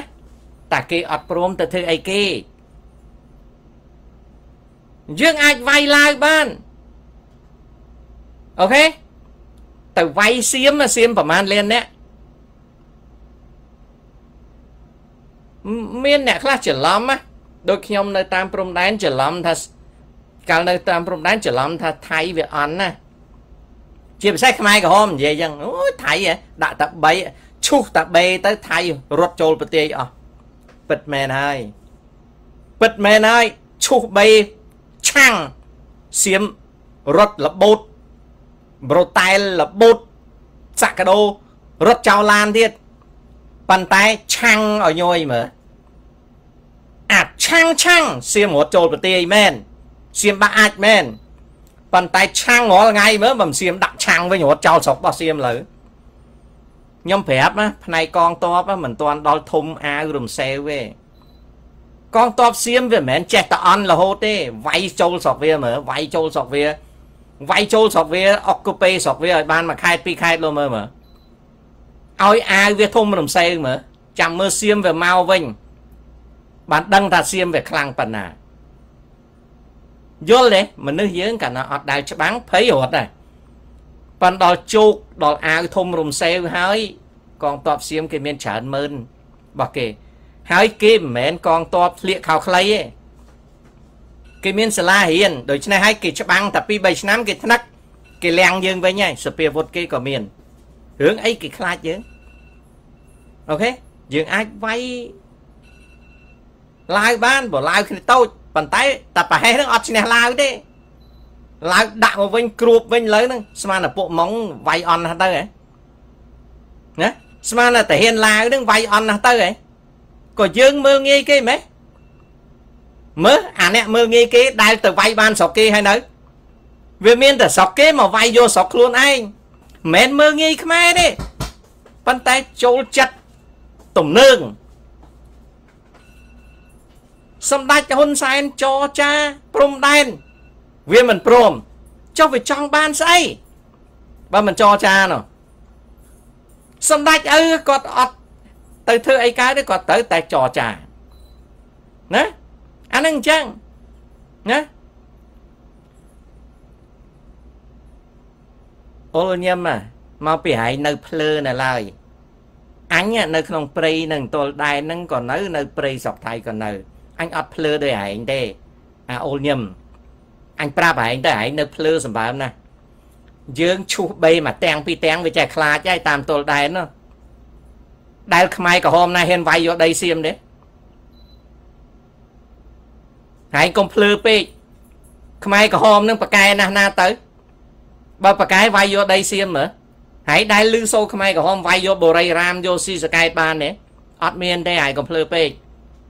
អារឿងឈូសបីតុងទាំងអីពួកតាហ៊ានព្រំដែនសៀមវាអាចពួកអាកសែងអា purple scarf អីវាអាចនេះបានមកក្ដុងមកក្ដាំងអីយើងអាចបានវាយឲ្យធំក្លិនផ្សេងមើលមិនងាប់របស់វាវិញលើ ឯងអត់ទាំងយល់ពាក្យថាតាហ៊ាននោះយ៉ាងម៉េចផងហើយដឹងទេសម័យយកកងវាយជាមួយសាធារណរដ្ឋខ្មែរណាយកកងបាញ់ពួកសាធារណរដ្ឋខ្មែរងាប់ដូចគេហាលប៉ុន្តែដល់ពេលវាជោគឈាមក្នុងខ្លួនយកកងក៏ខ្លាចពួកសាធារណរដ្ឋខ្មែរដែរពួកសាធារណរដ្ឋខ្មែរតាហ៊ានលន់ណុលបាញ់យកកងផាស់កញ្ញាំ នៅតកែវនៅនេះដូច្នេះអាអ៊ុលញឹមឯងនៅភ្លើនៅឡើយតែអញមើលមុខឯងនេះពាក់អាវមិនតន់តន់តន់ត្រង់ផងឯងកុំចេះតែមើលងាយគេនោះឯងត្រូវដឹងអញប្រាប់ឯងទៅឯងមិនស្គាល់ទេឯងជាមនុស្សម្នាក់គ្រាន់តែស៊ីជោទេឯងទៅសួរខ្មែរក្រហមមើលខ្មែរក្រហមណាមិនចូលសម័យអញសម័យអញនៅព្រៃអាណាក៏ចូលដែរសៀមអន់សៀមអន់សៀមអន់ប៉ុន្តែដែលកាន់កាប់ទឹកដីសៀមបានម្ដងប៉ុណ្ណា ឯងកុំភ្លើពេកឯងស្មានតែសៀមនឹងបើសៀមនឹងវាកំសាកណាភូមិវាយវាដួលបាត់ហើយអញប្រាប់ឯងណាហើយអត់តន់ដឹងថាភូមិខ្លាំងប៉ុណ្ណាតែហ៊ានភូមិខ្លាំងណាស់ក៏ភ្លើងភូមិក្របក៏ធ្ងន់ដែរហើយកុំច្រឡំហើយកាន់តែគិតប៉ុណ្ណេះទេបើឯងប៉កែណាមិនមែនខ្មែរយើងគេវាយឡើងមូណូទេអញប្រាប់ឯងបើប៉កែទៅវាយយកបានហើយតែវាយយកមិនបាន ហើយកុំចេះតែជូនោះហើយកុំចេះតែជូនោះសម័យលន់ណុលអីពូជអ្នកចម្បាំងអីណាជាកង់បាញ់រត់មិនសពដីណាអូខេដូច្នេះហើយកសាងសមត្ថភាពបានប៉ុណ្ណឹងហើយនៅក្បែរថៃប៉ុណ្ណឹងហើយមិនដែលទៅអុកទៅកាន់កាប់ដីថៃឯអាប្រភ្លឺអាងាប់ឯងហ្នឹងកំពុងស៊ីអាចថៃនៅក្បែរថៃហ្នឹង ដែលឯងនៅក្បែរថៃនេះឯងស៊ីអាចថៃឯងទិញទំនិញថៃឯងយកមាសទៅក្លុកឲ្យថៃឯងដឹកអីវ៉ាន់ឲ្យថៃសំបីតាឯងដើរទៅកាប់ឈើថៃក៏ថៃបាញ់ឯងងាប់ដែរឯងកុំភ្លើពេក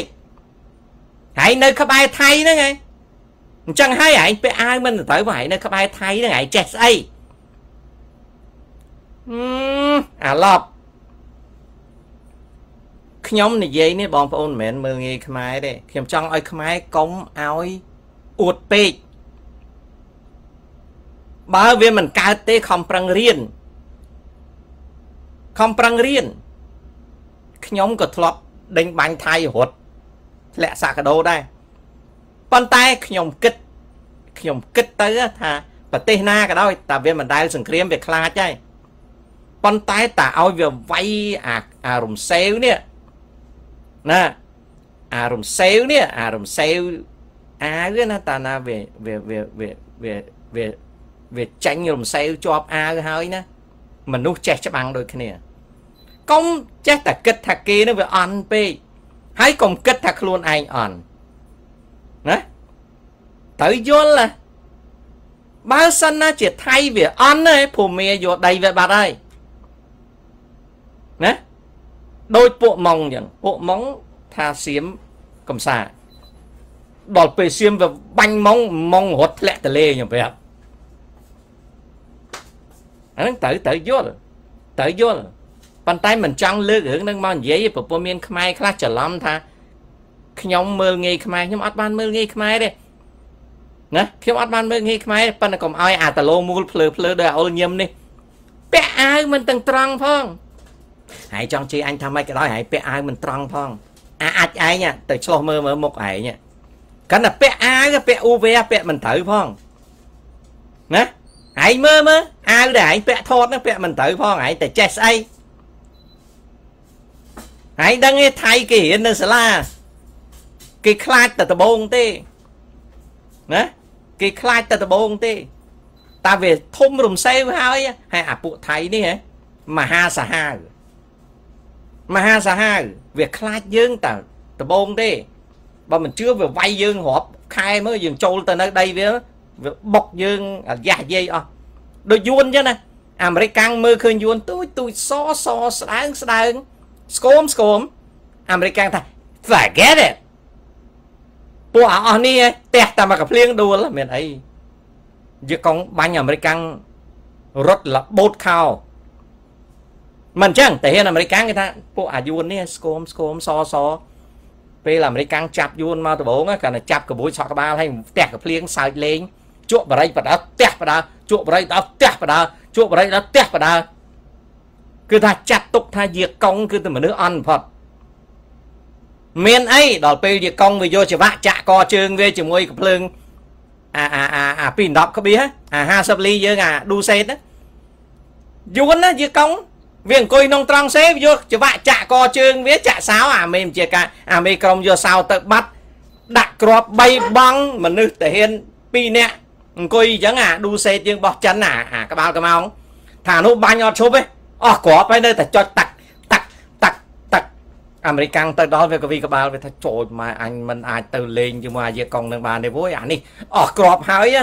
នៅដកដង្ហើមឈាមពេញខ្លួនហើយណានៅចុចណា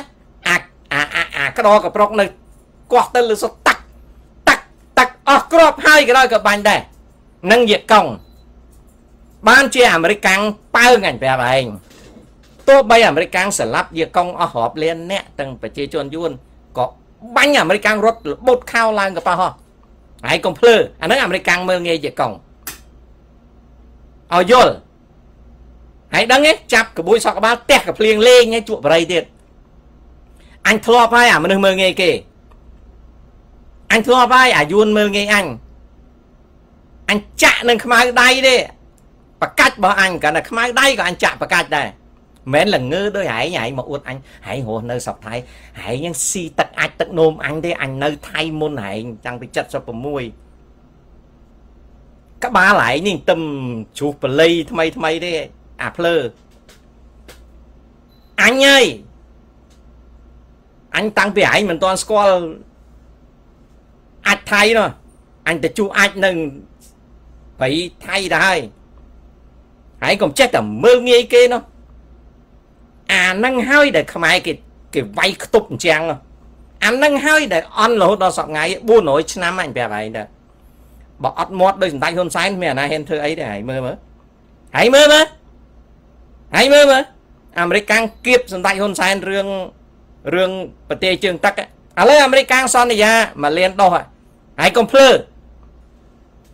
ហើយដឹងមិនទេគេនៅតែមកតាក់ទងសម្ដេចហ៊ុនសែនដោយសារអីពីពួកគេជឿថាគាត់ខ្លាំង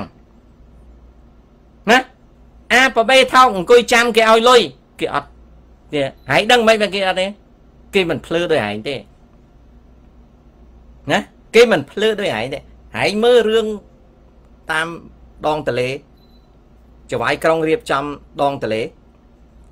ពួកអាភ្លើឯងចូលរឿងដេញយួនទៅស្រុកយួនវិញសម្ដេចហ៊ុនសែនអត់មានមាត់ម៉ាត់ទេឃើញរឿងហ្នឹងរងាប់បានដោយស្រួលទេបើភ្លើដោយពួកឯងជេរបែកខ្ទិះនឹងសត្វពួកអាភ្លើអត់យល់នយោបាយភ្លើណាស់ដោយរឿងព្រះវិហារដីរបស់យើង ព្រះវិហាររបស់យើងមកយើងដាក់វាទាំងទៅវិញ វាសុកចិត្តចាញ់យើងប៉ុន្តែយើងចូលដីវាមើលវាសុកចិត្តចាញ់យើងឥឡូវអាអូនមុខប្រហែលហើយនៅចិត្តភូមិថៃវាបាញ់ហើយរត់ឆ្លងទៅនប់ហើយអាភ្លើឯងដែលថានៅជាប់ថៃនេះហើយដឹងព្រំដែនខ្មែរនៅណាទេអញជឿថាអាឡប់ឯងកោះខ្មោចជីតាឯងមកក៏អត់ដឹងថាព្រំដែនខ្មែរនៅណាដែរពីព្រោះអាឡប់ឯងអត់មានស្គាល់ទេអាឡប់ឯងដឹងព្រំដែនខ្មែរនៅណាទេអញស្គាល់ព្រំដែនខ្មែរមុនសៀមវិជិកបលាយ មិនភ្លឺដោយឯងទេអញប្រាប់ឯងទៅអូខេឥឡូវនេះបញ្ចប់រឿងព្រំដែនរឿងកម្ពុជាក្រោមបន្តិចកម្ពុជាក្រោមហ្នឹងគឺឆ្នាំ1968សម្ដេចលោកចេញបន្ទូលមកចុងក្រោយថាអញ្ចឹងដល់ពេលពី91មកសម្ដេចលោកសរសេរនៅ BMD លោកណា សម្ដេចលោកមិនមានចាបច្ចុតម៉ាយបន្តិចតួចនៅ BMD លោកអាហ្នឹងវាជានយោបាយលោកលោកកាន់ជើងហ្វុនសុនបាច់សម្ដេចលោកកាន់ជើងហ្វុនសុនបាច់សម្ដេចឪសែនុលោកកាន់ជើងហ្វុនបាច់ដូច្នេះលោកចានៅ BMD ហ្នឹងដើម្បីឲ្យហ្វុនសុនបាច់ហ្នឹងរំនយោបាយប៉ុន្តែស្ដេចក្រមព្រះគាត់អត់ចេះថែរក្សាហ្វុនសុនបាច់ហ្នឹងហ្វុនសុនបាច់ហ្នឹងក៏រេអាចស្គមខ្លួនទៅ រហូតដល់ហ្វុនសំបាច់ស្រកគីឡូដល់សប្ងៃសម្ដេចឪលោកជួយហ្វុនសំបាច់ព្រោះហ្វុនសំបាច់នេះជារបស់ដែលលោកបង្កើតពី82អញ្ចឹងលោកក៏ចាបន្តិចបន្តួចនៅ BMD ទៅរហូតដល់លោកដាក់រាជលោកទៅធ្វើជាប្រធានឧត្តមក្រុមប្រឹក្សាផ្នែកព្រំដែនហើយលោកក៏ចាអីបន្តិចបន្តួចទៅប៉ុន្តែអ្វីដែលលោកចាហ្នឹងវាជា parole politic របស់លោក វាជា political rhetoric វាជាសំនួនវោហាសាសដែលពេលហ្នឹងលោកកាន់ជើងហ្វាន់បាច់អីចឹងលោកចេះជួយចឹងទៅប៉ុន្តែលោកជួយអស់ចិត្តទៅលោកដឹងថាហ្វាន់បាច់ទៅមុខលេងរួចក៏លោកចាប់ទៅក៏លោកចាប់ទៅអញ្ចឹងអ្នកណាដែលយកប៉ារ៉ូលលោកដែលលោកចាបន្តិចបន្តួចនៅ BMD ណាណាយកអាចំណារបស់លោក BMD យកមកធ្វើជារឿងនយោបាយអញ្ជើញតទៀតទៅ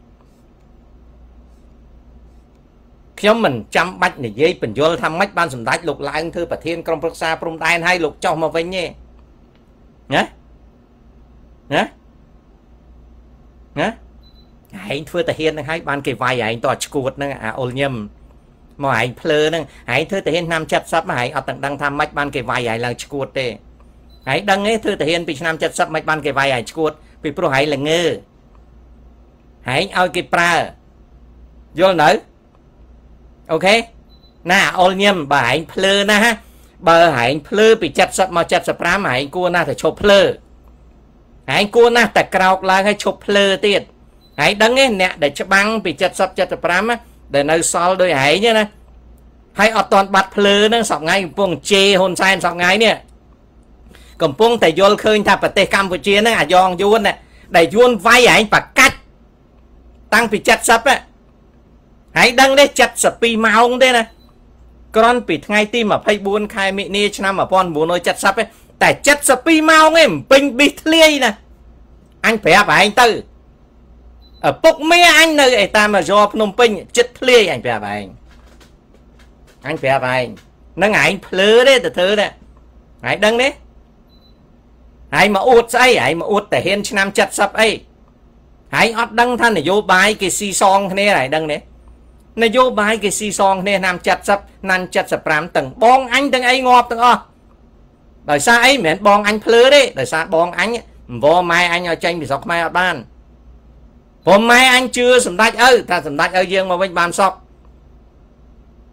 បងអញស្គាល់នយោបាយសាធារណរដ្ឋណាណាដឹងថាគេគេលេងជើគ្នាបងអញវម៉ែអញអញនៅបាត់ដំបងអញនៅបាត់ដំបង អញមិនភ្លឺដោយឯងទេអូខេអញនៅបាត់ដំបងកុំតែម្ដាយអញទេគាត់ជឿសម្ដេចឪគាត់មិនព្រមចាញ់កុំអីគ្រួសារអញចាញ់អស់បានជាបងអញដែលធ្វើតាហ៊ានសាធារណរដ្ឋទាំងអស់ស្លាប់មិនមែនស្លាប់ដោយសារល្ងងទេគឺស្លាប់ដោយសារជាប់ចំណង5ប្រការសុំឲ្យម្ដាយចាញ់ម្ដាយគាត់មិនព្រមចាញ់នៅទាំងអស់គ្នាហើយកុំច្រឡំ មែនល្ងើធ្វើតាហ៊ានដោយឯងពី70ហើយនៅភ្លឺទៀតទេឯងធ្វើតាហ៊ានពី70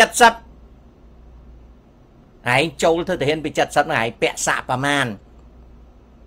ឯងបេបេផ្កាយផ្កាយឯងឆ្លងកាត់5ឆ្នាំហើយឯងនៅភ្លឺទៀតឯងអត់ដឹងទេជាកងវាយឯងឡើងបែកភ្នែកឯងដឹងទេ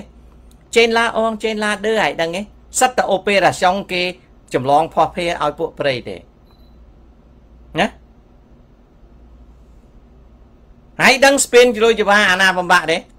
យាកង់ឯណាវាមកបំបាក់ស្ពានជ្រោយចវាយួននៅម្ពិញហើយកុំភ្លើពេកហើយកុំភ្លើពេកហើយឯងដឹងអ្នកណាបាញ់អា107 122ចូលម្ពិញពី70 75ទេហើយស្មានតែខ្មែរក្រហមបាញ់ហ៎ខ្មែរក្រហមបាញ់បាញ់ក្របខ្វាក់ទេអញប្រាប់ហើយអ្នកដែលផ្លោងចូលម្ពិញខ្លាំងជាងគឺគឺជាកង់បើនៅភ្លើទៀត យាកង់ជួយផ្លោងខ្មែរក្រហមរហូតដល់ឆ្នាំ75សូម្បីតែខ្មែរក្រហមអួតក្តែងក្តែងថាដេញយាកង់ដេញយាកង់យួនខាងជើងឲ្យទៅស្រុកយួនវិញពី73អញប្រាប់ហើយកងកំភ្លើងធំប្រើតែពួកខ្មែរហាណូយទេពីព្រោះខ្មែរក្រហមអត់ចេះបាញ់កំភ្លើងធំទេហើយហើយកុំភ្លើដោយសារខ្មែរក្រហមអត់ចេះបាញ់កំភ្លើងធំនឹងហើយបានជាពេលវៀតណាមវាយឆ្នាំ79ចូលប្រទេសកម្ពុជាខ្មែរក្រហមរត់មកព្រំដែនកភ្លើងចិនដឹកឲ្យថ្មីសាឡាង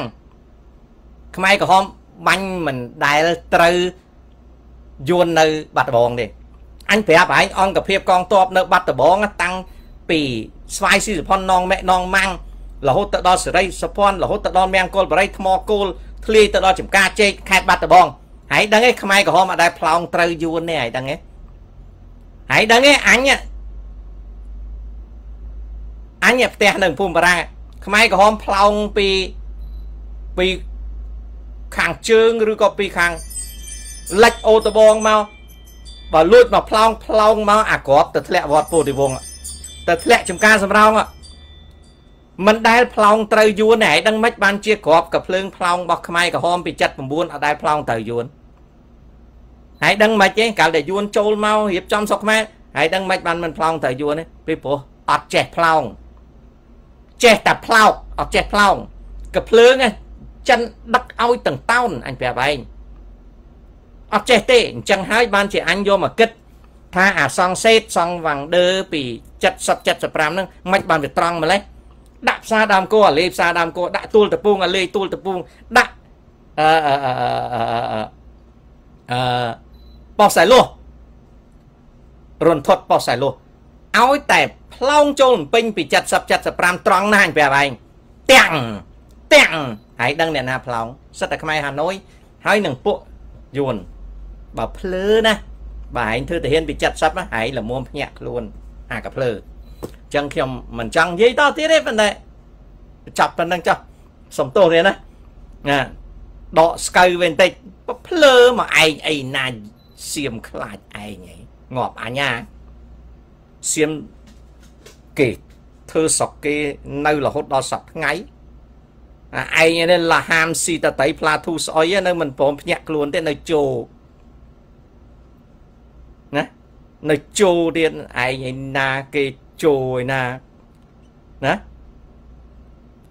បានថាវាណា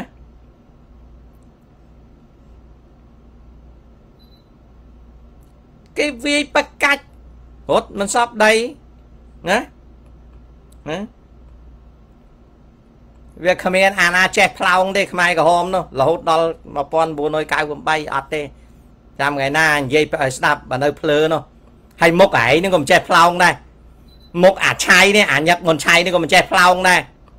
ហើយដឹងទេ97គេកាន់តេអូអញ្ចឹងគេដើរនិយាយមើលមើលមើលបាញ់ខាងនោះមើលបាញ់បាញ់ណាទៀតបាញ់ណាបាញ់អាទួលមួយណាទួលមួយណាទួលមួយណាបាញ់ទួលហ្មងហ៎ អាញឹកមុនឆៃនេះអត់ទាំងចេះហៅកំភ្លើងធំផងបានវាប្រត់ប្រាស់ចាំ97ហ្នឹងនោះហើយដឹងទេ